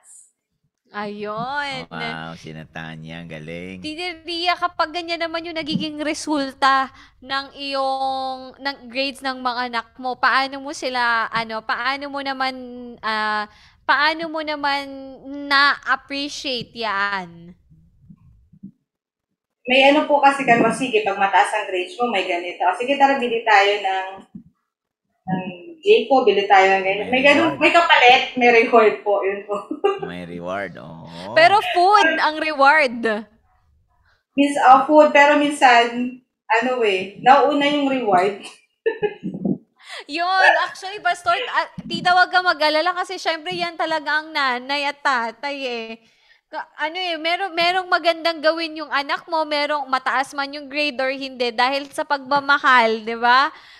Kahit na hindi deserving mag ma-rewardan, binibigyan pa rin ng reward kasi nga magulang eh. Ayun, magulang eh. Pero maliban doon, meron po ba kayong nagiging kiskisan or meron ba kayong mga pinagdaanan, especially during this pandemic? Uh, yun nga po, kasi simula po nung namatay yung father ko, nandun na po siya nakatira kila nanay. Doon magkapit bahay lang kami. Kasi wala nang kasama yung nanay ko. So, nandun na po siya. Eh, minsan nagre-reklamo si nanay. Kita niya lagi nasa kwarto na. Hindi na bumababa. So, kaya napapagalitan. Though, in fairness naman, pag aalis ako, siya iniiwan ko dito para magtingin doon sa mag- ano niya po, yung dalawang kapatid niya maliit, yung isang 10 siya, 7. So, so ibig sabihin po tita, yung mga anak ninyo ngayon, now that they're grow uh, they're they've grown up, nagiging katuwang nyo naman na po sila pagdating sa mga responsibilities sa bahay. Medyo po. pero mas Medyo. mas, oh yes, pero mas ma-shoutout siya sa akin pag siya naiiwan. O, di ba, Natanya? Alam mo din pala yung feeling ni Mami eh. Alam mo rin, bakit ka napapa-shoutout, Natanya? Mas mas shoutout raw si Natanya, Pastor, kapag nabibigyan ng responsibility. o, bakit ka naman napapa-shoutout, Natanya? Ah, kasi po minsan hindi po sila nasunod sa akin and um, may time po na nagagalit, nagagalit ako kasi Puro lang din po sila cellphone and hindi po sila nagawa ng responsibility nila. O, di ba, Pastor, bumalik din kay Natanya. Normal na normal yung bahay, eh, no? Totoo, Pastor. Ayan ang magandang communication kahit meron namang hindi na maibig sabihin pag may ganyan, hindi na nagmamahalan. Mhm. Oo, nagmamahalan naman. Nga lamang, it's just a matter nga. Ang ano ba, paano ba natin i-communicate ito? Tignan mo, Pastor, oh, umaamin si Nigel. Oo. True po, puro siya shoutout kahit nandito po si Mami. Ah, di ibig sabihin, si Natanya may pagka-responsible na bata. Mm. So, ayaw niya na lang mamiss ito, ayaw na lang mamiss ito, ayaw na lang Yeah. mamiss ito. Gawin natin to, gawin natin to, gawin natin ito. Mhm. Kasi siguro, tingin ni Natanya, tayo tatamaan nito, tayo tatamaan ito, tayo tatamaan Kaya nga sabi ni. Pastora Patricia, para raw siyang batang matanda. Ayun, batang matanda si Natanya. So, matured. Yes, Oo. matured na matured, Pastor. Dalaga, dalagitan na ako mag-isip. Dalaga Yan. na ako mag-isip. Mm-mm. So- sabi ni Patricia, tita, ano, si Patricia Delfino, sabi niya, tita, meron ka na palang PA. May personal assistant ka na raw, tita. Ayan. Pero ano naman ang joy? Ayan. Ano naman ang joy na Tanya na ikaw ay nagiging katuwang ng mami mo sa pag-shoutout? Oh. Um, minsan po is, nai- naiinis din po ako pag ako po yung naiiwan dito sa bahay. But, um, okay lang din naman po kasi minsan po pag ako po yung nai, na, eh, na ano ni mami na mag, ano sa mag, mga kapatid ko is parang sila po yung nauutusan ko, hindi po ako yung nagawa. Ah, Yun ang benefit, Pastor. siguro, paborito tong bata na to sa bahay. Puro lalaki kapatid eh. Ay, tanungin natin, Pastor. O, tingnan ko nga. O, paborito ka ba dyan sa bahay na Tanya? Then, Ay. apat kayo mag... Sa lima yun. Hindi naman po, but pag yung yung mga gusto ko naman po is na susunod naman po pag nilalagay ko ng ano. Oh, hindi naman. Hindi ba nababago, tita, yung treatment? Pa- paano yan? Kasi syempre, apat na lalaki, yung mga anak mo, babae. tapos nagiging, nag, nag-iisang babae. Prinsesa paano, yata oo. yan. Paano nyo po, ano, paano nyo po hinahandle yung, yung, ah, ang tawag dito, paano nyo po hinahandle yung way ng pagdidiscipline sa kanila? Syempre, kasi iba sa lalaki, iba sa babae.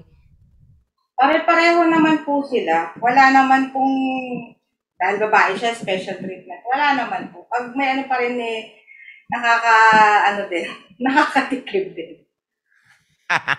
Eh, pero tita, may umaalma dito eh. Sabi ni Nigel, siya raw po ang favorite child. Agree ka ba doon, Natanya? Hindi po. Hindi talaga. Pastor... Ay, pastora talaga. Ay, ano? Alam mo, anak, hindi talaga agree doon si Natanya kasi kasasabi lang ng nanay. Mhm. Pare-pareho naman silang lahat. Yun. Pero Pastor, bakit ba nagkakaroon ng ano? Ay, hindi. Tanungin ko muna si Tita, ano, si Tita Ria. Tita Ria, ano ba yung, ano ba, anong tingin mo? Bakit kaya naiisip ng mga anak na merong favorite sa kanilang magkakapatid? Siguro po yung, ano, ah, halimbawa, mas pinapaboran yung isa kaysa dun sa sa iba. So, feeling, feeling niya siguro na, eh, parang si ano lang, si ganito, si, ah, ano, si, si, si lang lagi ang, pag may nire-request, laging oo ng oo si mami dati, samantalang ako. eh. Pag ganun po kasi ang, ano, mafe-feel mo na parang, siguro siya favorite, ako eh. Eh sa kanila naman po, wala. Pag, parang po dun sa, pag binilan mo yung isa, kailangan lahat sila meron para wala pong masabi. Oo nga naman. O so, kaya walang makasagsabi na hindi po siya favorite. O, Pag kasi natamaan po yung isa, Oo, may bawi si ano, Nigel, oh. Joke lang. Hehehe. Binawi niya kaagad, Pastor. Joke lang. Binawi niya kaagad. Nigel! Pero Pastor, ito matindi, nilalaglag din ni Tito Jason. Umaamin si Tito Jason eh. Oh. Sabi ni Tito Jason, mas maldita pa raw si Natanya kesa sa mami niya. Oh. Nako!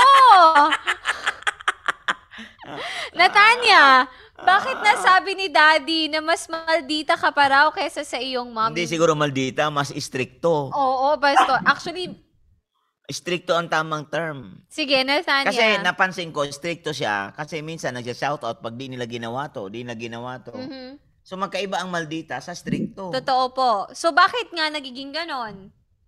Ah, kasi po, ako, kami po kasi ni Kuya Nigels is parang bata pa lang po, eh, may alam na po kami gawaing bahay. Pero po sila is, ano, parang, wala po silang na, ah, ano, na nagagawa kasi nga po puro po sila cellphone. Ilang taon na ba yung mga kapatid mong bunso? Ilang taon na si Niles? Ten po. 10 years old. Si Nathaniel? Seven. Seven. Oh, so gantong edad, gusto mo, tinuturuan mo na sila. Oo nga. Tama yung ama, si Jason. Mas stricto to. Nagpakaate. Siyempre, basta isipin mo, 7, 10 years old, hindi ka nga na, nanay, ano, what would you expect? oo, doon sa... hindi ka talaga makakapag-expect sa ganong Pero okay na rin yan para mahila yung Mm-mm. 7 at saka 10. Mag-matured ka agad. Oo, okay na rin yan. Para sa Yeah. akin, tama na rin yung stricto ang ate. May nagpakaate na. Mm-mm. May mas mataas na, na mas stricto kay nanay. Ay, okay na rin sa akin yan. Tignan mo, Pastor Mas Ross, okay sa sabi ni yan. Tito Sam, ganyan din po ang eldest ko. Mataray pa kesa sa mami niya. Oh, kaya shout out raw kay Hannah Sirwela Panganiban. Ah. Ayan. Pero okay yan sa akin. Talaga totoo. Kasi may gumagawa in behalf of the mother. So, mayroong ano, kasi kung wala na talaga, si mama lang talaga, ay talagang ay, ay, ay. Kasi Pastor, naiintindihan ko si Natanya sa side na yan eh. Oh, Kasi parang siya- si Hadasa ngayon, siya ang nagpupulis. Pulis siya dito eh, no? siya ang pulis dito eh, no? Naiintindihan ko siya kasi syempre, iba talaga ang discipline ng mommy kasi yung heart, yung love para sa mga anak, yung compassion para sa mga anak, ibang level. Pero kasi pastor, actually ito din yung hindi ko naiintindihan eh. Bakit nga ba mas tough ang training? Oh, tingnan mo, tama ako. Oh. Si, sabi ni Pastora Patricia Banikid, si Hadasa mas matapang pa kay Nanay Aida. Bakit naman kay mas Nanay matapang Aida? kay Lola. Bakit ganon? oh, di ba? Ganyan ka naman na noon. Ayan din si Natanya. Stricto. Yun nga. meron siyang ano. Kasi pastor, ang laki kasing factor noong paanong trinain ng mga mommies and daddies yung panganay at pangalawa.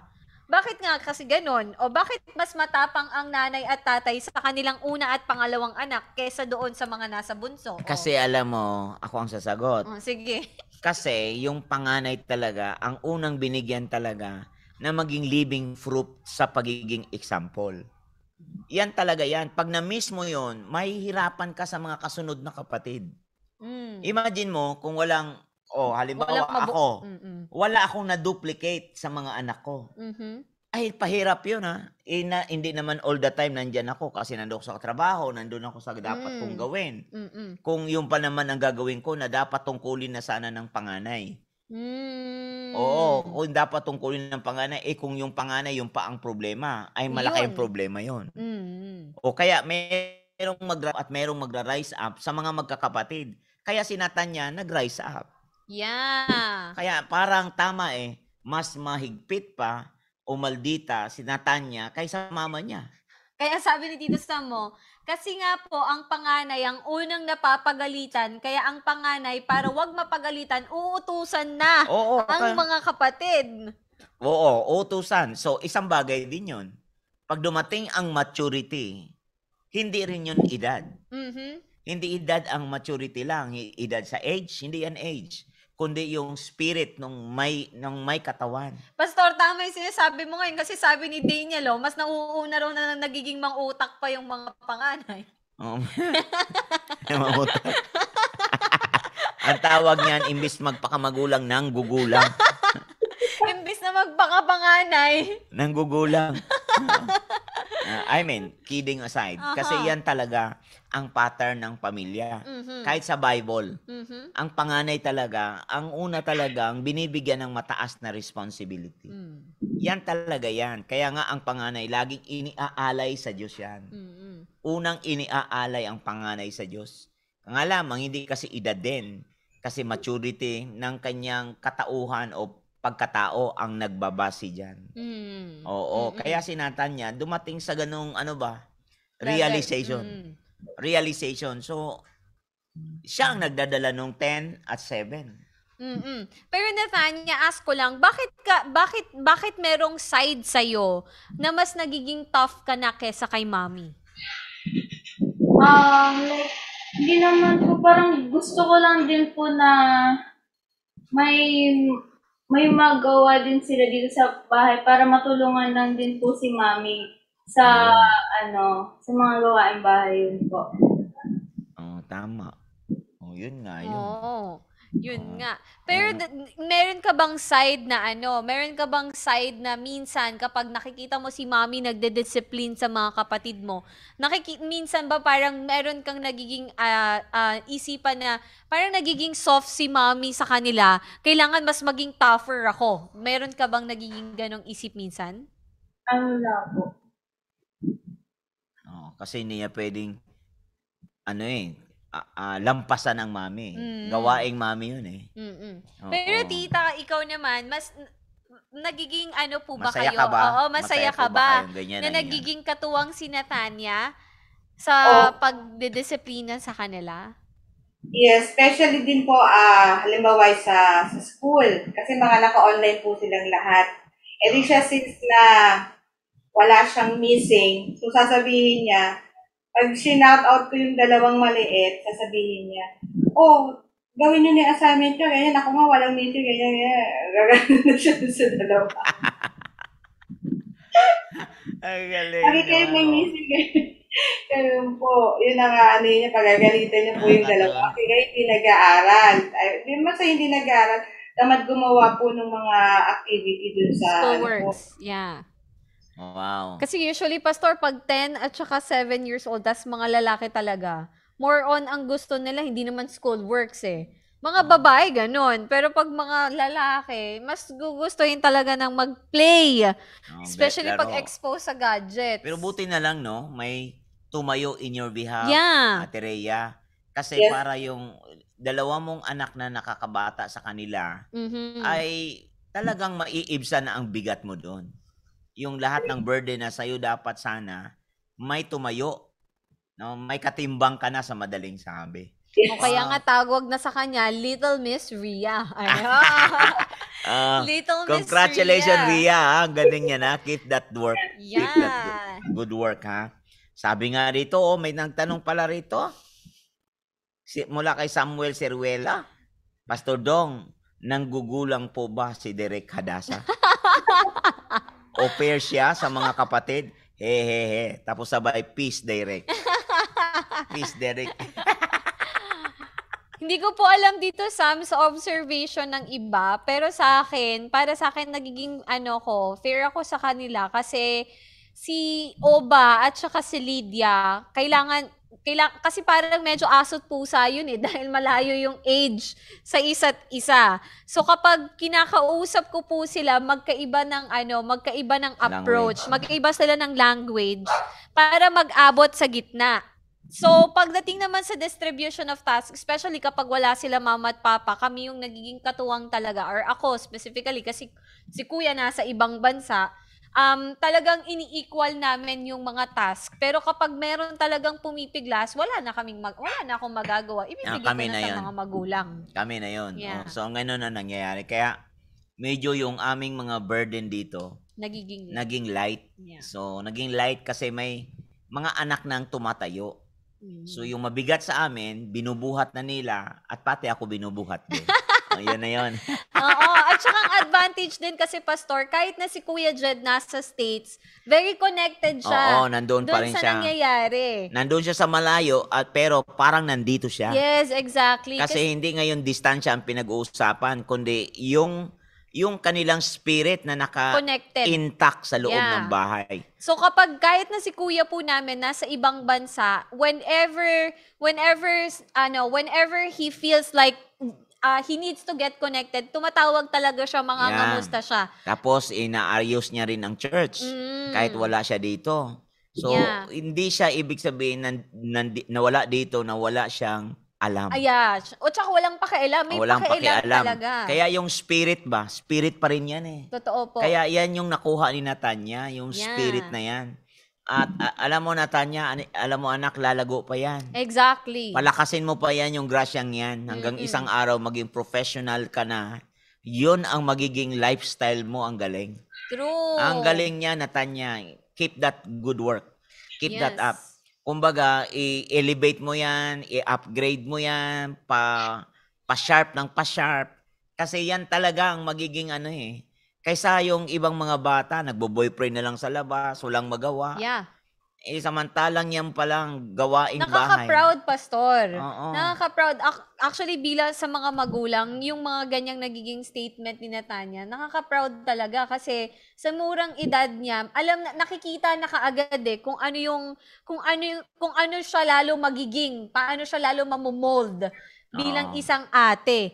At syempre, definitely, naniniwala ako si Natanya, nasisermonan niya rin yung mga kuya niya. eh. Totoo Ayun, ba? oh, nag-agree yung nanay.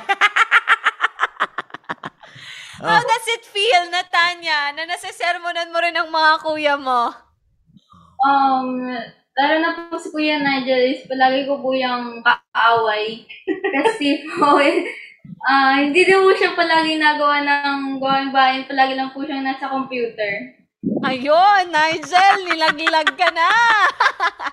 hindi, hindi laglag yan. Ano, Pastor? Paalala. Paalala. O, Kasi hindi naman na- Pastor. hindi naman lahat ng pagsasalita o pag pag ah, pag-uusap ng ganito ay nag, na, naglaglaga na. Kundi yung paano ba paalalahanan? Mm. Paano ba i-remind ba? Kasi minsan yung point of yung reminder, yan lang ang makakapagpapabukas dun sa spirit ng pagkalimot Mm-mm. Or paanong ma i-correct ang spirit of Ang error. maganda, Pastor, maagang namulat kay Natanya yon. Oh. Na hindi po pwedeng ako lang, dapat lahat tayo dito. Hindi ang usaka aw- hindi mangyari yan kung wala yung mas mataas diyan eh. Mhm. Ang una kong ta- ang sunod kong tanong ngayon sa ganyang pangyari, yung mga ganyang ugali hindi yan mangyari kung wala siyang pinaghuhugutan. Mm-mm. Isa dito yung encounter ninyo sa Panginoon. Mm. Yan yun eh. May pinanggagalingan yan kasi hindi pwedeng wala yan nang wala ang isa pang ano Paano na-activate sa Oo, buhay niya? supreme power, supreme force na Yeah. galing sa spirit ba? Na yun ang Diyos, di ba? So, kailan yung mag-ina na encounter ang Panginoong Yesus? Simulan natin dun sa bata, Pastor. Oo, simulan natin muna. Ay, sa nanay mo Ah, na sa yan. nanay. O, sige. Oo, kung nanay ang nakaumpisa, kung sa bata naman, pwede rin. So, sino sa inyo? O, Tita Ria. Kasi po ako, ah, high school pa po ako noon, nag-attend na po kami ng El Shaddai ni nanay. Kasama na Oh. Kailan po yun? Hmm. 14, 13, mga ganun po. High school po. Ah, High, my God, 19? Pastor. 19? 9 years old. 94, 93. Kilala niyo po kayo, Pastor Dong? So, kilala nyo ako. Ki- Kilala ka po ni nanay. Ay, gano'n. Kilala ka po niya. Kakilalang kakilala, Pastor. Ay, sana makita ko nanay mo. Pupunta po kami noon sa Amorsolo, ganun po. Oo, na, ano na po kasi yun. doon ako nag-office. Yun nga, kilala ko po niya. Nako, Diyos ko. Talaga ba? Tapos, ah, nung edi high school po ako noon, tapos active po ako nung sa sipahan po noon. Tapos, Opo. nung college yun po, nawala. And then, nito na lang po uli.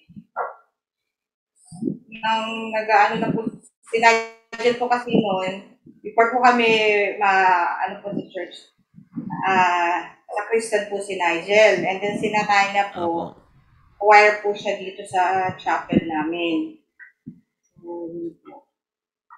Then, that's, siguro mga May po, May, nagsisend na si, yun yung time na medyo ma, may mga, may pinagdaraanan po. Si Ma'am Cathy, sinesenda na niya po ako ng mga link po Ah. ng foundation nila kay, kay Pastora Mayet, tapos po DLS. Unang, un- tapos sinami, niya- sinali niya po ako dun sa life group ng Hindi pa po, nung wala pa po yung parent sa Cavite yun, sinasali niya ako. Last year lang, last year po yun. Pwede po bang malaman natin, malaman ng mga ka-daily life sharing, tita, kung ano ba yung mga pinagdadaanan ninyo? Bakit nagkaroon ng, ano, nagkaroon po kayo ng, ah, nagkaroon po kayo ng stage sa buhay na kinakailangan nyo na na, Lord, Lumapit, Luma- bumalik kayo. oo. As last year, sobrang bigat, especially financially po. As in, kaliwat kanan, hindi ka na makatulog, mga ganun po. Tapos, di sinali po ako ni Miss Cathy sa live group. Sabi ko, ma'am, sige, sasali ako. Pero off-cam lang ako, ayoko, nahihiya ako. Tapos, andi dito pa po si Pastoral Lydia, nun hindi ko siya nakakalis. Tapos, minsan, pag ano si Tito Bonnie, tatawagin ako. Sabi ko, sabi ko, Ma'am Kat, huwag mo ko tawagin. Sabi ko, ganun nahihiya ako. ganun po ang ano ko nun. Tapos, di nangyari nakikinig po ako. Pag may sinesensyo sa akin, siguro mga around, siguro mga May po yata yun. Nung nakin, inopen ko po yun yung kay Pastora Mayet. Una po ako bumigay na talagang, para yung yung prayer na yung yung ano niya po noon na parang parang ako yung kinaka ako yung natutumbok ng Pastora Mayet that time. Tapos po, yung unang ano ko sa DLS po noon, kay Pastora Eva, siya po yung guest nyo. Ah, last year. Yes po. Tapos, may ano doon si Pastora Eva na yung nangyari sa kanya na yung pambayad niya sa house, na yung nagtata, ano lang siya, ganun po. Sabi ko, parang, pa- parang re- relate ako. Tapos yung bunso ko nga po, si Nathaniel, tumatak sa kanya si Pastora Eva. Nung first time na nakinig, nanood kami ng DS, tumatak na po sa kanya si Pastora Eva. So yun Wow, po. Tapos, seven years old. Natumatak sa kanya si Pastora Eva. Opo, Wow. opo. Yun ang ano po sa kanya. Tapos naalala ko pa nga, nun, sabi ko kay Ma'am Kat, kung talagang napakatabi ko, Ma'am, ba't ganon? Da, parang sobrang makasalanan ko ba para parang ayaw akong tantanan ng problema. So, gano'n na ano kaya. Sabi niya, Problema hindi. Tapos, financially, tita. financially. Yes po. Tapos, sumabay po, then June, nagpas, nagkasakit po ako. Tapos, uh, katapusan ng June, nag-positive po si Jason. Saka lola ko po, nag-positive din. Sunod, sa kasunod-sunod na naman po. Then July naman, sabi ko, ano ba to? Sabi ko naman. Sobrang bigat na minsan po, the middle of the night, magigising ako. Hindi na ako. Ang ginagawa ko po nun, nakikinig ako ng replay hanggang sa makakatulog uli ako.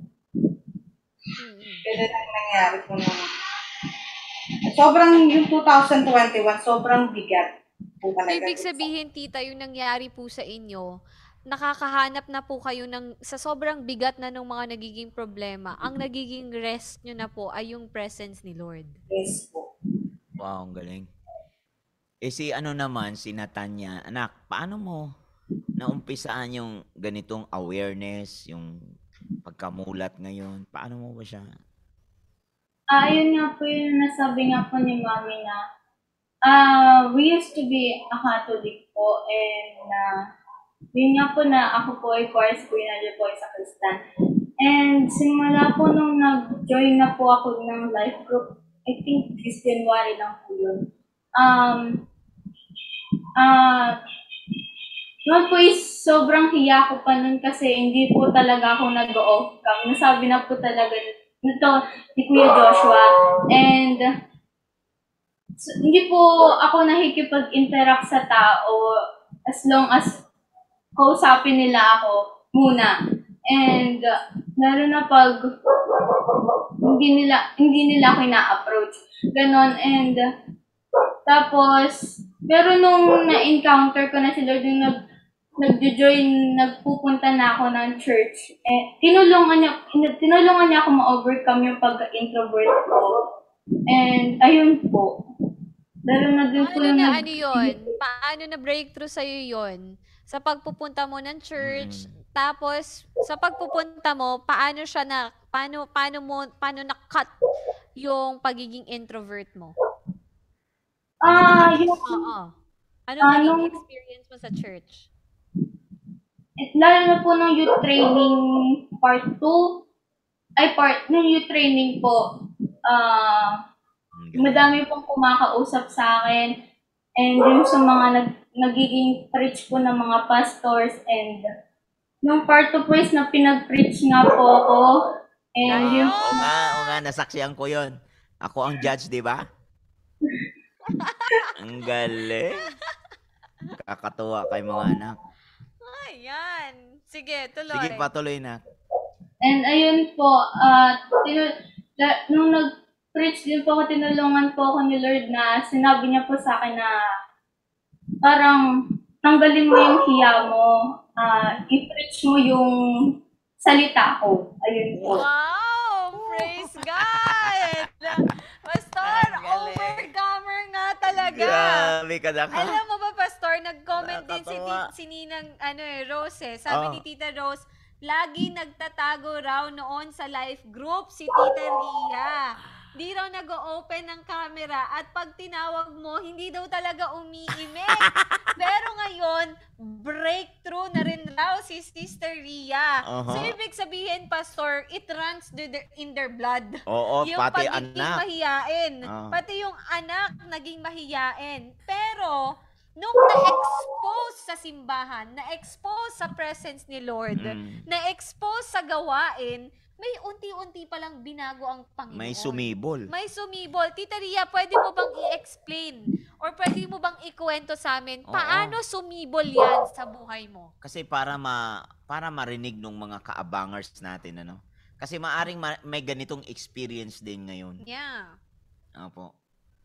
Kasi nga po, di, ah, so yung sunod-sunod nga po, yung namatay lola ko ng June last, ay July last year, then August, yung August naman po yung auntie ko, tapos yung finance, ano nga po namin financial, tapos ah, laging, laging absent po si Jason kasi po quarantine kasi may nagpa-positive. So, yung fina ano naman, pa- parang talagang wala, halos wala kami, ano, hanggang sa yung mga friend namin nagbibigay sa amin. So, gano'n. Kasi nga pa di nagla-life group na kami. Then, December, nagkasakit po tatay ko, then namatay. Naku. Tapos wala na tayong life group noon. Wala na pong life group Ilang, na kasi sorry, tita. Ilang beses po kayo namatayan in a year? three. Sa loob ng isang taon, tatlong beses. Yes. Yes po. Ang una, Lola ko po, lola mo, pangalawa. 96 years old po siya nung namatay. Tapos auntie ko po, ang eldest po nila nanay. Opo. Ano pa po yun, wala pa pong 40 days nung ano. Tapos, December 20 po, tatay ko po. Ah, ano, okay, diretso po. So, Tapos, so yun po, tapos, i, nag, ano na nga po, by January nung nag, nag-start po ulit, parang, ah, bago na po yata ang ano nun. Tapos, niyaya po ako ni Sister Mila. Sabi niya, sama ka sa church. Sabi ko, yan dami ko pang mga... Ay, sabi niya po nung una, magte-testimony daw po ako sa life group. Sabi ko, sabi ko, Sister Mila, hindi ko pa kaya. Sabi ko, ganon. Tapos sabi niya, sumunod na sabi niya, sige, mag-testimony ka sa, sa church. Sabi ko po, sabi ko ganun sa kanya. Hindi pa nga kaya sa live group sa church tuloy. Tapos sabi ko, o sige, sabi ko po, eh di nag, may, may, eh, ay, ano, eh hindi naman po ako na kasi may pinuntahan po kami. Umuwi po kami ng Bulacan. Tapos sabi niya, o sige, kung ayaw, kung ayaw mag-testimony, sumama ka sa church, sabi niya ganon. Tapos hinanapan niya ako kung kanino ko sasabay. So, nung first po namin punta, February 13, kay kila Tito Bonnie po kami sumabay. So, yun, yun po. Tapos, ang nag si Pastor Dong ang nag nag-preach po ng time na yun. Tapos yung pinano na po kami, yung, yung tapos na po yung pinag-pray, yun po yung nakaka, hindi ko, hindi ko ma-explain yung ano ko nun kasi po, magkatabi po kami sa unahan. Mhm. So, si Pastora Mavic nandito sa may kanan ko. So, siya tapos, supposed to be, dapat si Pastora Mavic ang mag-pray sa akin. Siya si Pastora May. Pero po, nagpalit sila, tinap, pin, pinag-pray po ko ni Pastora May. Na yung ang bigat-bigat po ng dala ko, nung punta ko doon, kasi nga po, nung namatay yung tatay ko, parang may guilt feeling po ako na hindi ko maintindihan. Tapos ang bigat po na So, umiyak na hindi ko mailabas kasi nga po, kailangan ko magpakatatag para sa nanay ko. Kasi ako po panganay eh. Kung hindi ako pwede mag, mag, maging weak. So, hindi ko siya ma, ano. So, nung first time ko pong pumunta ng church, yun nga po pinagpray ako ni Pastor Ronnie. Pag tapos po nun, parang gumaan po yung pakiramdam. Iyak ko nang iyak na, doon ko lang nailabas yung bigat na nararamdaman ko. Wow. So yun po. After nun, ah the following week, hindi po kami naka-attend. Then yung susunod, yun na po yung nakasama naman namin si Nigel. Yung nagpipreach naman si Pastor May, parang ako ang kinakausap. Mm. Sabi ko kay Tito Bonnie nung pauwi na kami, sabi ko, yung tinatanong po nila ako, sabi ko, parang ako po kinakausap ni Pastor May. Sabi ko, ganun sa kanya. Yung, yung tumitingin siya sa akin, sabi ko, ala, grabe. Sabi ko, pang Ay, so, pero po, ang gaan po sa pakiramdam ko kasi nga yung yung nangyari nga po, ang ang bigat, sobrang bigat po sa ano ko po, nadala ko po na ano. Pero nga po, simula po nung naka-attend po ko sa church, kuma- na- nawala po lahat ng dinadala ko. Mm. Wow, amen. Grabe. So, ikaw naman, anak na Tanya, sa edad mo na yan, paano mo, kumbaga, paano mo experientially na naunawaan yung encounter mo na yan? Kasi bihira yan eh, 12 years old, ma-encounter si Lord, ano? Bihira yan eh. Um, kasi nga po nung, nung testimony nga po ako nun sa NLS, na may, nag, na may nabasa po akong verse na, yun po yung sa Mark 16, 15 po ata yun, na sulat is, uh, go all around the world and spread the word of God, para spread the word of God po. And yun nga po, tuma- sobrang tumatak po siya sa akin na tangga, parang sinabi niya po na kahit ka, kahit gaanong ka-introvert ka, para para kay Lord, go, parang i mag mag ano mag mag ah tawag dito, i-spread mo yung salita niya. Ayun po. Amen. Hallelujah. Napaka-genuine ng encounter mo. Mm.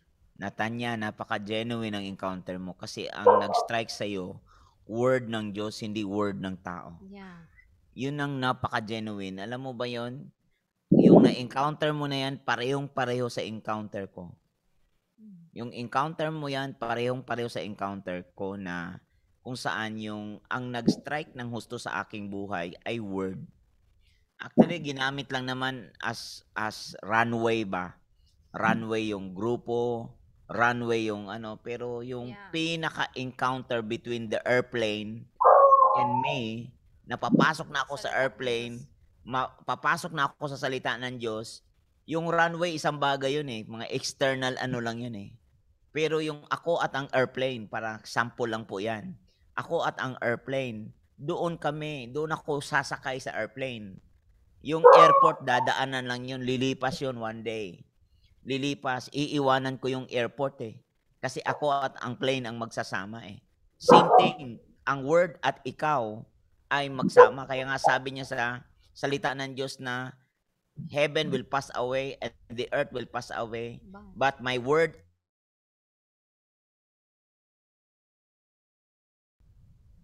Wow, sige.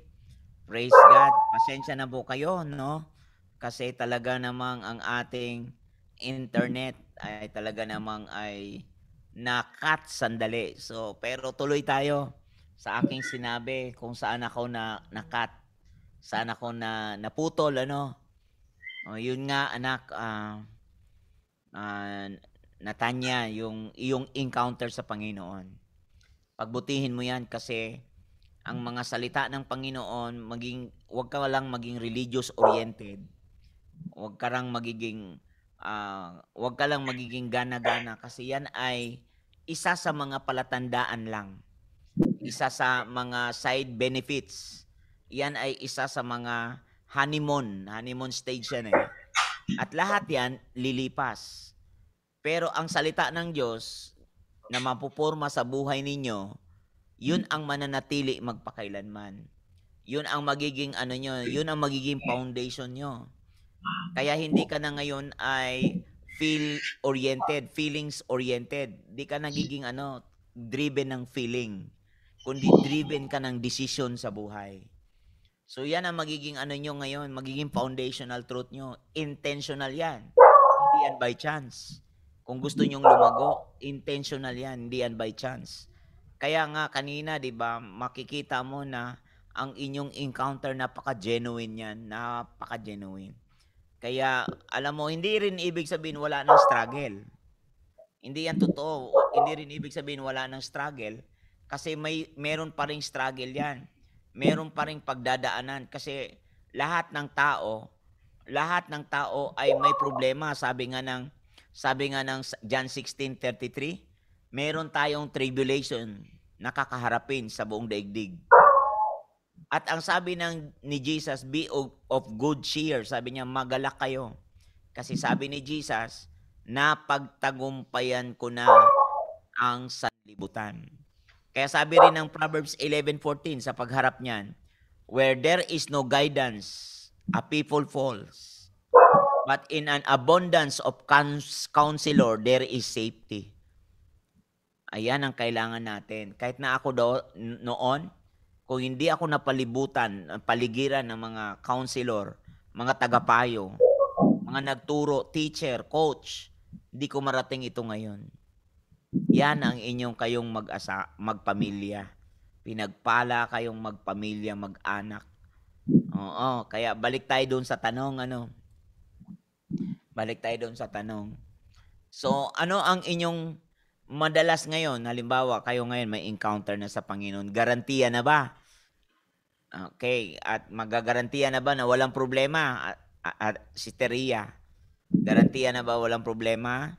May Natanya? mga uma, may mga umaan pero po um, mas ano na po ngayon, mas kaya na po siyang ah, i-handle, mas ano na po. Unlike before na halos parang gusto mo na po kaagad bumigay pag encounter ka ng problema po dati. Na, Mhm. so, ganyan, depressed na depressed ka na, depressed. na- Pero po ngayon, hindi na po kasi may nakakaano na po kami. Ano, ano, ano, Wow, amen. Hindi na katulad dati, no? Oo, na lagla, bagsak na bagsak, ano? Pero ngayon, may katimbang na. Wow, tama ang Bible. Galing naman yan, ano? Oh, ikaw naman, Natanya. Ikaw naman, Natanya. Ah, yun nga po yung na sobrang introvert ko pong tao na hindi na ako nakikipag-usap. And simula, simula po nung nag-training na sina, tina, tinuruan ako ni Lord na mag-spread ng word niya na kahit gaano makahiya, ah, kahit gaano ka ka-introvert, i- i-spread mo para i-spread mo yung word niya para sa kanya. Yun, Wow, galing. Kaya sabi ng ano no, Psalms 144 verse 1. Sabi dito ni David, si David nagsabi nito eh. Blessed be the Lord, my rock, who trains my hands for war and my fingers for battle. Ulitin ko ha. Psalms 144 verse 1. Blessed be the Lord, my rock, no, aking tanggulan, aking matibay na muog. Ito ang kasunod. Who trains my hands for war, my fingers for battle. O, kaya tingnan mo, kahit sabihin mong introvert ka, kahit sabihin mong hindi ka ano, sabi ng Diyos kay David, siya ang aking tanggulan, siya ang aking sandalan, siya ang aking muog, ang Diyos ang aking muog, Mhm. who trains my hands for war. O, tingnan mo, kaya Natanya, si Lord talaga ang nag-ano sa inyo. Yung pagiging introvert mo, napalitan niyang magiging action na lady, a lady of action. Yes, No. Pastor. Kaya nga, di ba, sabi ng 2 Timothy 1 verse 7, For God has not given us a spirit of fear, but of power, power of love and of discipline. Oo. Nagkaroon, nag-gain sa buhay ni Natanya yung spirit na kung saan nagkaroon siya ng boldness na magsalita. Ano, at ito yung maganda, Pastor, eh, yung naging boldness niya, hindi na para magsalita ng Mali. ng ah, hindi yung- Kalikuan. Yung, sa sarili niya na lang. O, sarili. Sariling opinion, kundi sali, yung salita mismo ng Panginoon. Oo nga. Pinagpala ka kasi sabi rin sa ah, Romans chapter 8 verse 15, sabi niya dito, sapagkat hindi spirito ng pagkaalipin ang inyong tinanggap upang kayo'y mamuhay sa takot. Yon, hindi para mamuhay sa takot, kundi sa halip ang inyong tinanggap ay ang spirito ng pagkupkop Amen. upang kayo'y gawing mga anak ng Diyos, kaya tayo'y tumatawag sa Kanya ng Ama, Ama ko. Oo. Yan. At hindi lang yan. Sabi ni David sa Psalms 100, ah, Psalms 18 verse 34a. Mhm. Ang sabi niya, He trains my hands for battle. Exactly, Pastor. Yeah, he trains my hands for battle. Hinanda. Inihanda, i- in- o- inayos ako. Tinrain Yes. ako. Kaya nga, napakahalaga na meron tayong mga may tamang tinig, may tamang pamimili. Mhm. Oo, yung tamang tinig, tamang pamimili sa buhay, may tamang nagsasalita sa buhay, may tama rin tayong pamimili sa buhay. Amen. Kaya itong mag-ina na to, may pinili talaga tong the best sa buhay. Kaya sila naging overcomer, Pastor. Amen. Kaya Kaya doon na. naging overcomer. Oo. Kasi naalis na sila, Pastor, doon sa pagkaalipin ng timidity at na-train sa puso nila. Oo. Di ba? Na-train sa puso At nila. naalis din sila doon sa takot. Mm-mm. Oo, kasi 'di ba, sabi niya bagsak na bagsak siya. Oo, Pastor. Bago at ang nun. bigat ng buhay. Mm-mm. Oh, hindi rin matapalan ng pera 'yun. Totoo, Pastor. Isipin mo, tatlong beses namatay. Namatayan. Tapos, naging at risk ang buhay ng, ng pamilya. Ng, nag, naging at risk ang buhay ng asawa niya. Nagka-COVID sila. 'di ba Sobrang hirap nga naman noong ganong sitwasyon. Pero tama yung sinabi mo eh. Dahil nga, nagkaroon ng guidance. Oo. Nagkaroon ng overcome ngayon sa buhay nila. Kaya nga again ha, kasi 'di ba? Proverbs 11:14, 'di ba? Mm. Mga kaabangers. Ito yung isa sa mga key na nangyari sa buhay ng mag-inang ito. Na malaking tulong yung kabigatan ay napawi. Napawi. Napagaan. oh, napagaan. Mhm. Ang malaking tulong, sabi nga eh, for where there is no guidance, Mhm. a people falls. Yun Kung walang talaga. guidance, a people falls. But in an abundance of counselors, there is safety. Amen. Amen. There is safety. May, kalu- may kaligtasan doon, may katiyakan doon, may kasiguruhan doon. Mm-mm. Kaya yung word na safety means giving wise people. Yung mga giving yourself to, a, to- around Mm-mm. Oo, circled with a wise people, no? Circle with a wise people with a right voice. Yes. Ayan yon yung Ang safety galing talaga natin. ni Lord, Pastor. Kasi hindi niya tayo hinayaan na clueless lang tayo. Oo, hindi tayo yang clueless. Hindi niya hinahayaan na la- lag- lagapak na lang tayo lagi ng Oo, sitwasyon. Hindi talaga. Kaya ka itong mag-inang ito, mag-inang ito the best na ano ito, magiging coach one day. Yes! Wow! Boldness talaga, Pastor, ang nadagdag sa buhay nila. Ayan. The best tong mag-ina ito one day, coach ito ng maraming mga kabataan. Amen. Kaya Pastor, ngayon, ipapanood na natin sino-sino ba ang nagkaroon or naging bahagi ng naging journey nila. Oo, Dahil sige. nagkaroon ng matinding boldness sa buhay nila. Kaya Gabi, ihanda mo na. Pwede na bang ipalabas ang kanilang mga surprise videos? So, isunod-sunod mo na yan, Gabi. Afternoon po! Ako po si Nathaniel Alfiler. Ako po si Niles Alfiler. Kami po yung kapatid ni Ate Natanya. At ang masas- masasabi po namin sa kanya ay um, congratulations in advance sa graduation niyo po. Thank you for being good, ate. At at lahat ng mga na pangarap mo ay ma-achieve mo. We love you!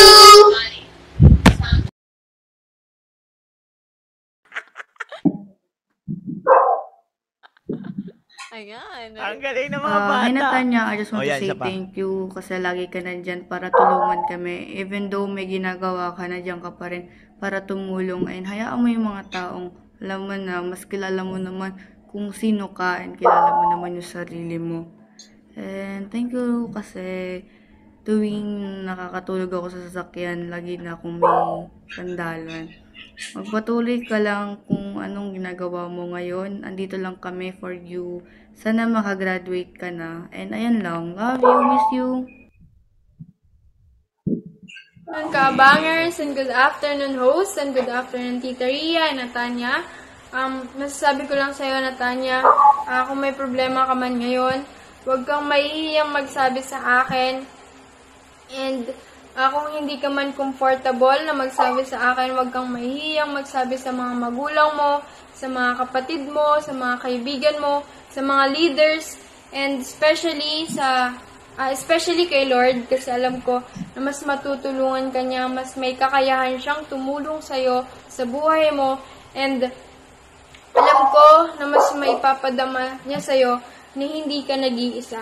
And ah, thankful ako kasi ah, nakilala kita, and nakaka-proud kasi nag improve ka, hindi lang sa school, kundi sa church. And yun lang, um, magpatuloy ka kung ano man yung ginagawa mo ngayon, ipagpatuloy mo yan, and um, balang araw, ah, makakamit mo rin yung pangarap mo. And yun, ah, I love you, and ang dami ko ng take, libre mo ako sa Sunday. Hmm, afternoon mga kaabangers and hello to my pretty Natanya.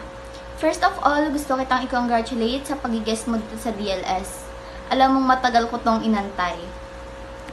Nung bago pa lang po kami sa, sa GCCP, si Natanya po yung nagpo-follow up sa akin. And akala ko mas matanda siya sa akin. Hindi po siya mahirap i-approach dahil mukha naman po siyang friendly. Pero hindi po talaga. Hindi joke lang. Friendly po si Natanya, lalo na po sa mga, pag may mga bagong youth. Nung nawalan ako ng friends, Natanya was there. Kahit nung time na yon hindi niya alam kung ano nangyayari sa akin. She did not fail to comfort me when I felt down. I believe God used her. Keep everything up, Natanya. Thank you for being a source of comfort to me. Kayo ni Ali. You became my human diary. Kahit nangaasar lang kayo palagi. Nandito lang ako palagi for you. Talking or not, you always have me. I got you. I always wish you the best. I hope you find the happiness you're looking for and may you reach all your dreams. Always love being yourself and never let people's judgment get the better of you. When all else fails, God never does and we can hold on to Him. God's plan never fails. Always choose what your heart says, but never forget to ask guidance from our God. Sabi nga sa 1 Thessalonians 5 verse 11, Therefore, encourage one another and build each other up, just as in fact you are doing. Mahal kita lagit lagi Natanya. Bye-bye, I miss you. Good afternoon po sa ating lahat, sa mga kaabangers na nanonood ngayon, sa ating mga pastors, Pastor Dong and Pastora May, sa ating mga RLT hosts, at sa ating guest. Good afternoon po sa inyo. At Nathanya, nagpapasalamat ako sa Panginoon dahil nakita ko talaga yung buhay mo. At masasabi ko talaga na ikaw ay isang overcomer. Amen? Dahil noon po si Nathanya and Nigel, nung naging part po siya ng aking BSG, BSG Imos, ay ah, masasabi ko na talaga sila ay mahiyain. Noon po kapag ini-invite sila, mahirap silang i-invite. Kaya kapag a-attend sila ng ah, life group or BSG, lagi silang naka-off cam. So, mahiyain talaga sila. And one time, natandaan ko po na noon na habang meron akong nagiging member, new member, ah, ang ginagawa ko po kasi pinagbabasa ko sila ng Bible and sabihin nila kung ano yung natutunan nila. Nagchat-chat sila sa akin ako, Joshua, okay lang po ba na kahit tayong tatlo lang po nila Kuya Nigel? Kasi nga po, sobra silang nahihiya. Pero as time goes by, habang uma-attend sila ng mga life group at nakaka-attend na din sila ng Sunday service, natataniman na sila ng salita ng Panginoon at doon nababago yung buhay nila. Lalo na nung naka-attend ng ah, youth training, Chosen Generation Part 1 and Part 2. Grabe yung buhay na binago sa ah, pagkatao ni Nathania dahil nakita ko po yung pagkawala ng ano niya ng pagiging isang mahiyain na wala na yon dahil nakapag 5 minutes preaching na siya. Then nakakapag-testimony na po siya sa youth life group. And sa NLS din po night life sharing nakakapag-testimony na din siya. And ah, ngayon sa DLS nakakapag-guest na siya so grabe yung ah, proseso sa buhay niya though matagal pero nandoon pa din na at the end of the day magbabago at magbabago din talaga yung ah, buhay ni Nathania. At naniniwala ko na si Lord naman ang kasama niya doon. At ah, nagpapasalamat ako sa buhay mo dahil nang pinili ka ng Panginoon ay siya man din ay pinili mo. At ah, pinili mo mag-participate sa kung anong ginagawa ng Panginoon sa buhay mo. Kaya naman Nathania, masasabi ko lamang na magpatuloy. Magpatuloy sa purpose na binigay sa iyo ng Panginoon. Magpatuloy sa ah, pagsunod sa iyong mga magulang, sa ating mga leaders. At um, ah, hindi masasayang ang paglilingkod ng ah, isang tao sa Panginoon dahil ah, bibigyan ka ng Panginoon, re-rewardan ka ng Panginoon ng pagpapala ng siksikliglig at umaapaw. At ah, sa pagpapatuloy mo na yan, si Lord naman ang kasama mo at hindi ka niya pababayaan. So maraming salamat Nathania at ah, salamat din po sa mga magulang niya na silang nag ah, pupush sa kanyang sa kanilang magkapatid at sila man din ay naiintindihan nila na kailangan ng kanilang mga anak ay nasa church talaga. Kaya salamat po sa inyong lahat at pagpalain po ang inyong buong family at ah, nanan ang panalangin ko po ay ah, lahat ng mga ah, gusto nyo pong i-invite ay maisama nyo po talaga sa ah, ating church. At Nathania in Deuteronomy 31 verse 6, verse 6 ah, God will never leave you nor forsake you. Kaya na magpatuloy ka lang at si Lord na ang bahala sa buhay mo. Amen? Amen. Thank you po. Good good afternoon mga ka-DLS. And thank you so much po for this opportunity na makapagbigay po ng message to our guest today, Ria and Tanya. Thank you din po Pastor Dong and Pastor May para po sa opportunity na to. For Ria, Ria, I'm so glad and really happy na nakakasama ka na namin sa Glory Christian Center Paranaque hindi ko ma-imagine to na tutugon ka, di ba?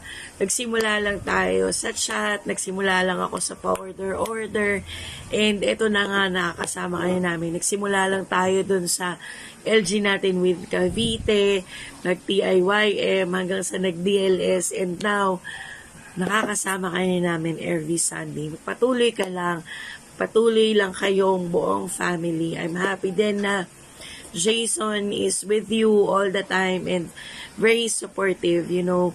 Um, also kung ano yung nangyayari with your kids, with Nigel, Tanya, Niles, and Luis. And definitely, definitely, in God's time or in God's perfect timing, you will be with your mom and with James at the same time, ba? For now, um, pagpatuloy mo lang, I know meron ka pang dinadasal ng dinidesire with James future, ba? Kung ano lang talaga yung yung dinidesire din ng puso niya, you just have to be supportive. Of course, with the proper guidance pa din ni, ni, ni God as well, di ba? For Tanya, thank you kasi alam ko ikaw yung um, sa, sa inyong magkakapatid, ikaw yung pinaka-porsigido. And thank you din sa pagsama mo kay Nigel and pag-convince sa kanya to attend GCCP. Definitely, I can see the desire of your heart. Ipagpatuloy mo lang siya. I know you really love serving God and serving GCCP as well. If there is any doubt, ipag-pray mo lang yan para ma-reveal din sa'yo kung ano ba talaga yung dapat dapat, dapat natin gawin. Alright? Well, thank you so much sa inyong mag-ina, Ria and Tanya.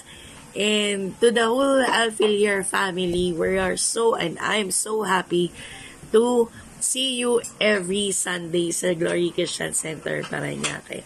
Yun lang. Thank you. Bye! To my friend Tatanya, thank you for always being there by my side, for always making me happy when I'm down, and for being the most trusted friend I've ever had. I am grateful that God gave me you, and I hope that our friendship lasts forever. Um, hi to my friend Tanya. I just want to say thank you for being there when I want to rant or make chika or kwento akong gustong i-share. You're a really good listener. Um, you're one of my most trusted and maasahan kong friends. Um, you're a one chat or one call friend. Um, six years of friendship. Nung una, medyo awkward, but na halos excited, excited if gagala or makikita-kita. Um, yeah, I just want to say I'm truly thankful for having a friend like you.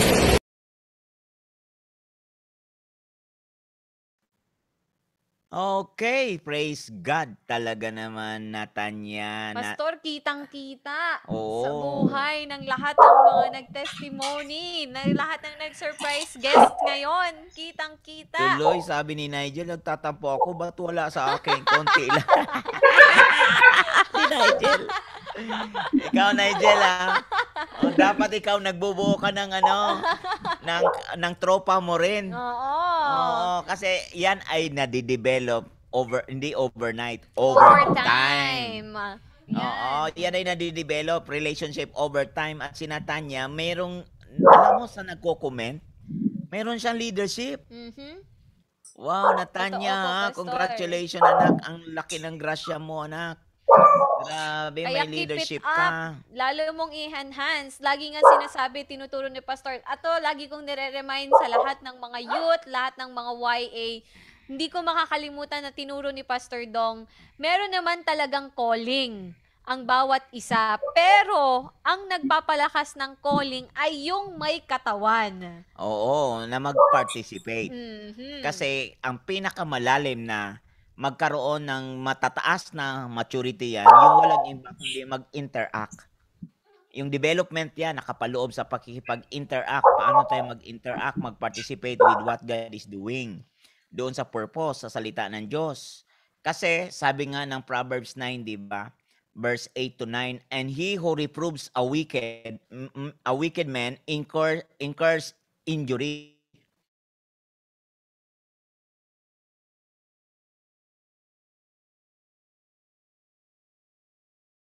wise man and he will Hmm? wise man, he will be still wiser. Teach a righteous man and he will increase in learning. Kaya kung may righteous tayo, may teacher pa tayo, ay mag increase talaga. Ta- babasahin ko, Pastor Dong, sa Tagalog, ha? Oo. Sabi niya po dito, punahin mo ang pangungutya at magagalit pa sa iyo. Ngunit, puy- payu, ah, pay- payuhan mo ang matalino at iibigin ka nito. Matalino'y turuan mo at lalo siyang tatalino. Ang Mhm. matuwid ay aralan, la- lalago ang dunong nito. Oo, yan ang sabi nga, 'di ba? Kaya nga kung ganito ang magiging orientation ng mga batang ito. Yes. Mataas ang kanilang consciousness sa word. Totoo po. Mataas ang consciousness sa word. Hindi consciousness sa pasimba-simba. Mhm. Tapos, yun naman ay nakaporma lang ng puro barkada. Yes, Pastor. Ay, kaya binubuwag ko nga ang barkadahan. Kung wala rin naman yung purpose na pinag-uusapan. Kung ma- maliwanag mong sinasabi, Pastor, umalis sa religion, pumasok sa relasyon. O yun, o Yun, nga. pumasok Kung mga sa pumasok sa Pa- pagkipagrelasyon,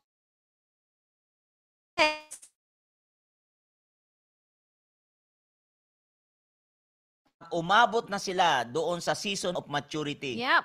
Ah, yun yung hinog na hinog. Hindi nila mamimiss out. Yeah, hindi na mami-miss out. Hindi rin sila babungungutin. Mhm. Oo, pagkos sila ay talagang itataas ni Lord. Ang magandang balita pa doon, Pastor, yung pangarap ng mga magulang na mas malayo pa yung maabutan, mas malayo pa yung marating ng kanilang mga anak, ay totoo talagang ma-exceed. Ma-exceed talaga ng mga anak. Yes, totoo yan. Kaya sa Proverbs 24:6, for, by wise guidance, you can wage your war. Mhm. And in abundance of counselors, there is victory. Yun! Kaya nga, tamang-tama ang naging desisyon nyo po, Tita Ria at saka Natanya. Lalo-lalo na po sa inyo, Tita Ria and Tito Jason. Tamang-tama po yung naging desisyon nyo na talagang maim, ma, matanim kayo sa isang simbahan. Matanim talaga kayo sa isang lugar na kung saan, sa isang simbahan na kung saan makukultivate talaga ang mga grasya po ng inyong anak. Ma- ang grasya ng buong pamilya, kung saan lalo talagang magkakaroon ng direksyon yung buong pamilya. Yeah, makiki draw close to God, not to draw close to men. Exactly, Pastor. Kasi sa sobrang dikit sa tao. Kaya mga kabataan, i-define nyo yan kasi baka tao na lang ang nadikitan nyo. True. Nawala na yung principle ng Diyos. Kaya pag natenga yung tao, Tingga din sila. mm, Kaya minsan ko pag nawala yung tao, wala din sila kasi yun. tangay sunod na lang pare-pareho. Nasaan na ngayon yung purpose? Totoo po. Oh, hindi na natin na-serve ang purpose in our generation.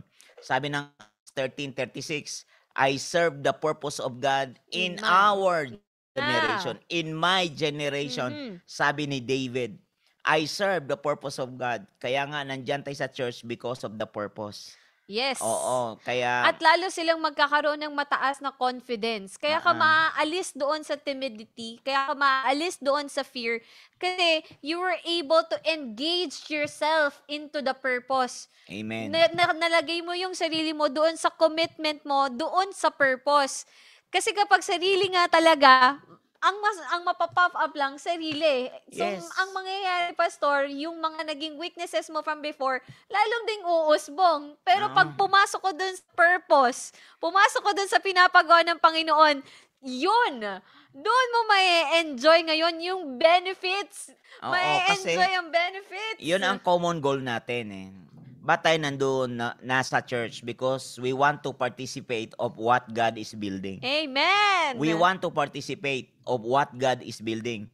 And what God is building, He is building lives. Exactly, Pastor. Building the kingdom. Yes. Oo, kaya nga, ito ang last kong word bago tayo manalangin. Sa Proverbs 9 verse 10. Proverbs 9 verse 11 to 12. Sabi dito, the fear of the Lord is the beginning of wisdom and the knowledge of the Holy One is insight. Wow, galing na ito. At sabi doon sa verse 11 and 12, for, for by me, your days will be multiplied and years will be added to your life. Mm. Wow. Verse 12, if you are wise, you are wise for yourself. If you are scope, you alone will bear it. Oh, Ay, galing. Pastor, Antindi parang na- hindi tayo matatapos sa mensahe na yan. Eh, kaya nga verse na lang ang binasa ko. Naku mga kabangers, it is for you. Ta- talagang para sa atin ito mga kabangers, it is for us to choose. Mamili talaga tayo na maging wise. Ito ang daily life sharing. Yes. Nakikita ng lahat, nababasa ng lahat, sabi ng 2 Corinthians 3.2. Mm. Yan ang meaning ng daily life sharing. Na ang salita ng Diyos di lang nakasulat sa tabletang Tableta. bato, kundi nakasulat sa puso ng tao Mm. na nakikita ng nanay mo, nakikita ng mga kapatid mo, Yun. ang mabuting balita. Amen. So hindi to sabi, ibig sabihin na di ka na na sumisemplang. Nagkakamali din, pero paano ka ba bumabangon? Yep. Paano ka ba nagra-rise up At hin- against? At hindi lang yun, Pastor, hindi na lang paulit-ulit ka na lang nadadapa. Yun na nga lang, puro excuses. So Yeah. hindi ito ha, ito ang daily life sharing. Thank you sa buhay ninyong mag-ina na, na Natanya, thank you ha anak. Thank you Sister Rhea. Thank you sa mga buhay nyo. Thank you sa Arfiler family. Ang cute ng mga kapatid ng dalawa kanina. Tuwan-tuwa ako sa dalawa, 7 and 10 ba yun? Opo, 7 and 10 years old. Oh, Pastor, nakakatuwa. nakakatuwa kasi ramdam na ramdam yung pagiging ate ni Oo. Natanya sa kanila. Yun nga, eh, no? Di ba? Ang bata nila, pero meron na silang ganong kalalim na mensahe Oo, ating para sa ate. ate nila. Ating Nakakatuwa. ate. Nga, last na tanong ko sa'yo, ano ba ang pangarap mo sa sarili mo? Anong gusto mo maging bukas? Ko na sana mak- makatapos ako sa pag-aaral. Laksan mo, anak. Lapit ka, Natanya. Lapit ka. na sa, maka, sana po maka, makapagtapos ako ng pag-aaral and makamit ko yung pangarap ko. Amen. May specific ka na ba na pangarap para sa sarili mo? Architect po. Architect. Wow, galing. Oh, galing ka ba mag-drawing pala, anak? Ayan. Wow. Hindi yan imposible na hindi mo maga, ma- hindi, hindi mo maabot sa Yan. buhay mo at madidiscover mo pa ano naman ang pangarap ng Diyos para sa buhay mo. Ayun, ang pinakamasarap sa journey ng ikaw ay nangangarap. Ayan. Salamat po. Buhay Tita Ria, meron po ba kayong mensahe para sa ating mga daily life sharing? Ah, ang ano ko lang po yung like yung pinagdaanan po namin. Patul as long as po na kilala natin si Lord, nalalapit po tayo kay Lord. Ah, hindi niya po Amen. tayo papabayaan. Wow, amen. Ikaw naman. Ikaw naman, anak, Natanya. na ah, gusto ko lang po sabihin na ah, kilala na, kilalanin natin ang Diyos kasi parang kahit kahit anong kasalanan na gawin mo, parang mahal ka pa rin niya. Basta i- i-admit mo na may kasalanan ka. And uh, i-admit, at, ah, tawag dito, at, um, ah, tanggapin mo siya na Panginoon sa buhay. Amen. Salamat sa Diyos. Ay, Oo. I-admit at nang sa gawin, mapatawad ka. yep. Anong patatawarin kung wala ka namang inamin? Yun nga, Pastor. So, ibig sabihin, Pastor, naging maliwanag sa buhay ng mag-ina na to kung paano nila na-overcome. Na-overcome Yes. sa sarili nila yung mga na, nabaon ng matagal sa buhay nila. Kaya At paano- overcomer. kaya overcomer. Yan, salamat po sa buhay ninyo, Tita Ria at Natanya. At bukas, mga ka-daily life sharing. Ayan, may panibago na naman tayong kabataan na abangan. Ito, Pastor, ang title nito, Homegrown. Ayun. Wow, matindi yan ah. Homegrown. Nako mga ka-daily life sharing, etong mga magiging bisita naman natin bukas, merong malalim na dahilan bakit homegrown ang kanilang title. Ah, Dahil ang mga bisita natin ay si Joseph Miguel Cortez at si Tita Geraldine Caico. Ayan. Oo, si Mal- JM pala ito. Opo, Pastor, si JM. Kaya Malaki siya na to eh. homegrown. Ah, galing naman. Homegrown, Pastor, kasi bakit? Ito yung batang makulit na takbo ng takbo. Yes! Homegrown dahil nagsimula at lumaki sa simbahan. Ano kaya ang naging resulta naman sa buhay nga, niya? oo nga. Bakit kaya homegrown ang chosen generation natin Wow, sa araw ng naman. bukas? Oh, sige, At sige. syempre kasama niya ang kanyang tita. Ayan, Oo, salamat sige, sa Panginoon. Kaya Pastor, ikaw'y manalangin na. Amen. Talaga mag-pray tayo mga kaabangers. Hallelujah. Lapit tayo sa Panginoon. Panginoon, maraming maraming salamat po sa buhay ng mag-inang ito. Maraming salamat Lord na pinagpala mo ang mag-ina, si Natanya at si Sister. Lord, patuloy mo silang gabayan, patuloy mo silang pangunahan, patuloy kang magpahayag sa mag-inang ito, Lord. At ang iyong presensya ay patuloy na manguna sa kanila. At Lord, pagpalain mo ang kanilang mga buhay.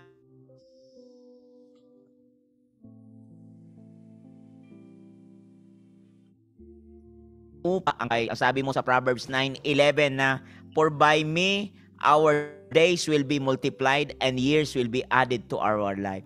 Lord, kami rin ang namimili niyan, Lord, para ang aming years mag-multiplied, ang days namin at ang years ay madagdagan sa buhay. Kaya pag ikaw ang pinili namin, Lord, magdudulot ito ng karunungan.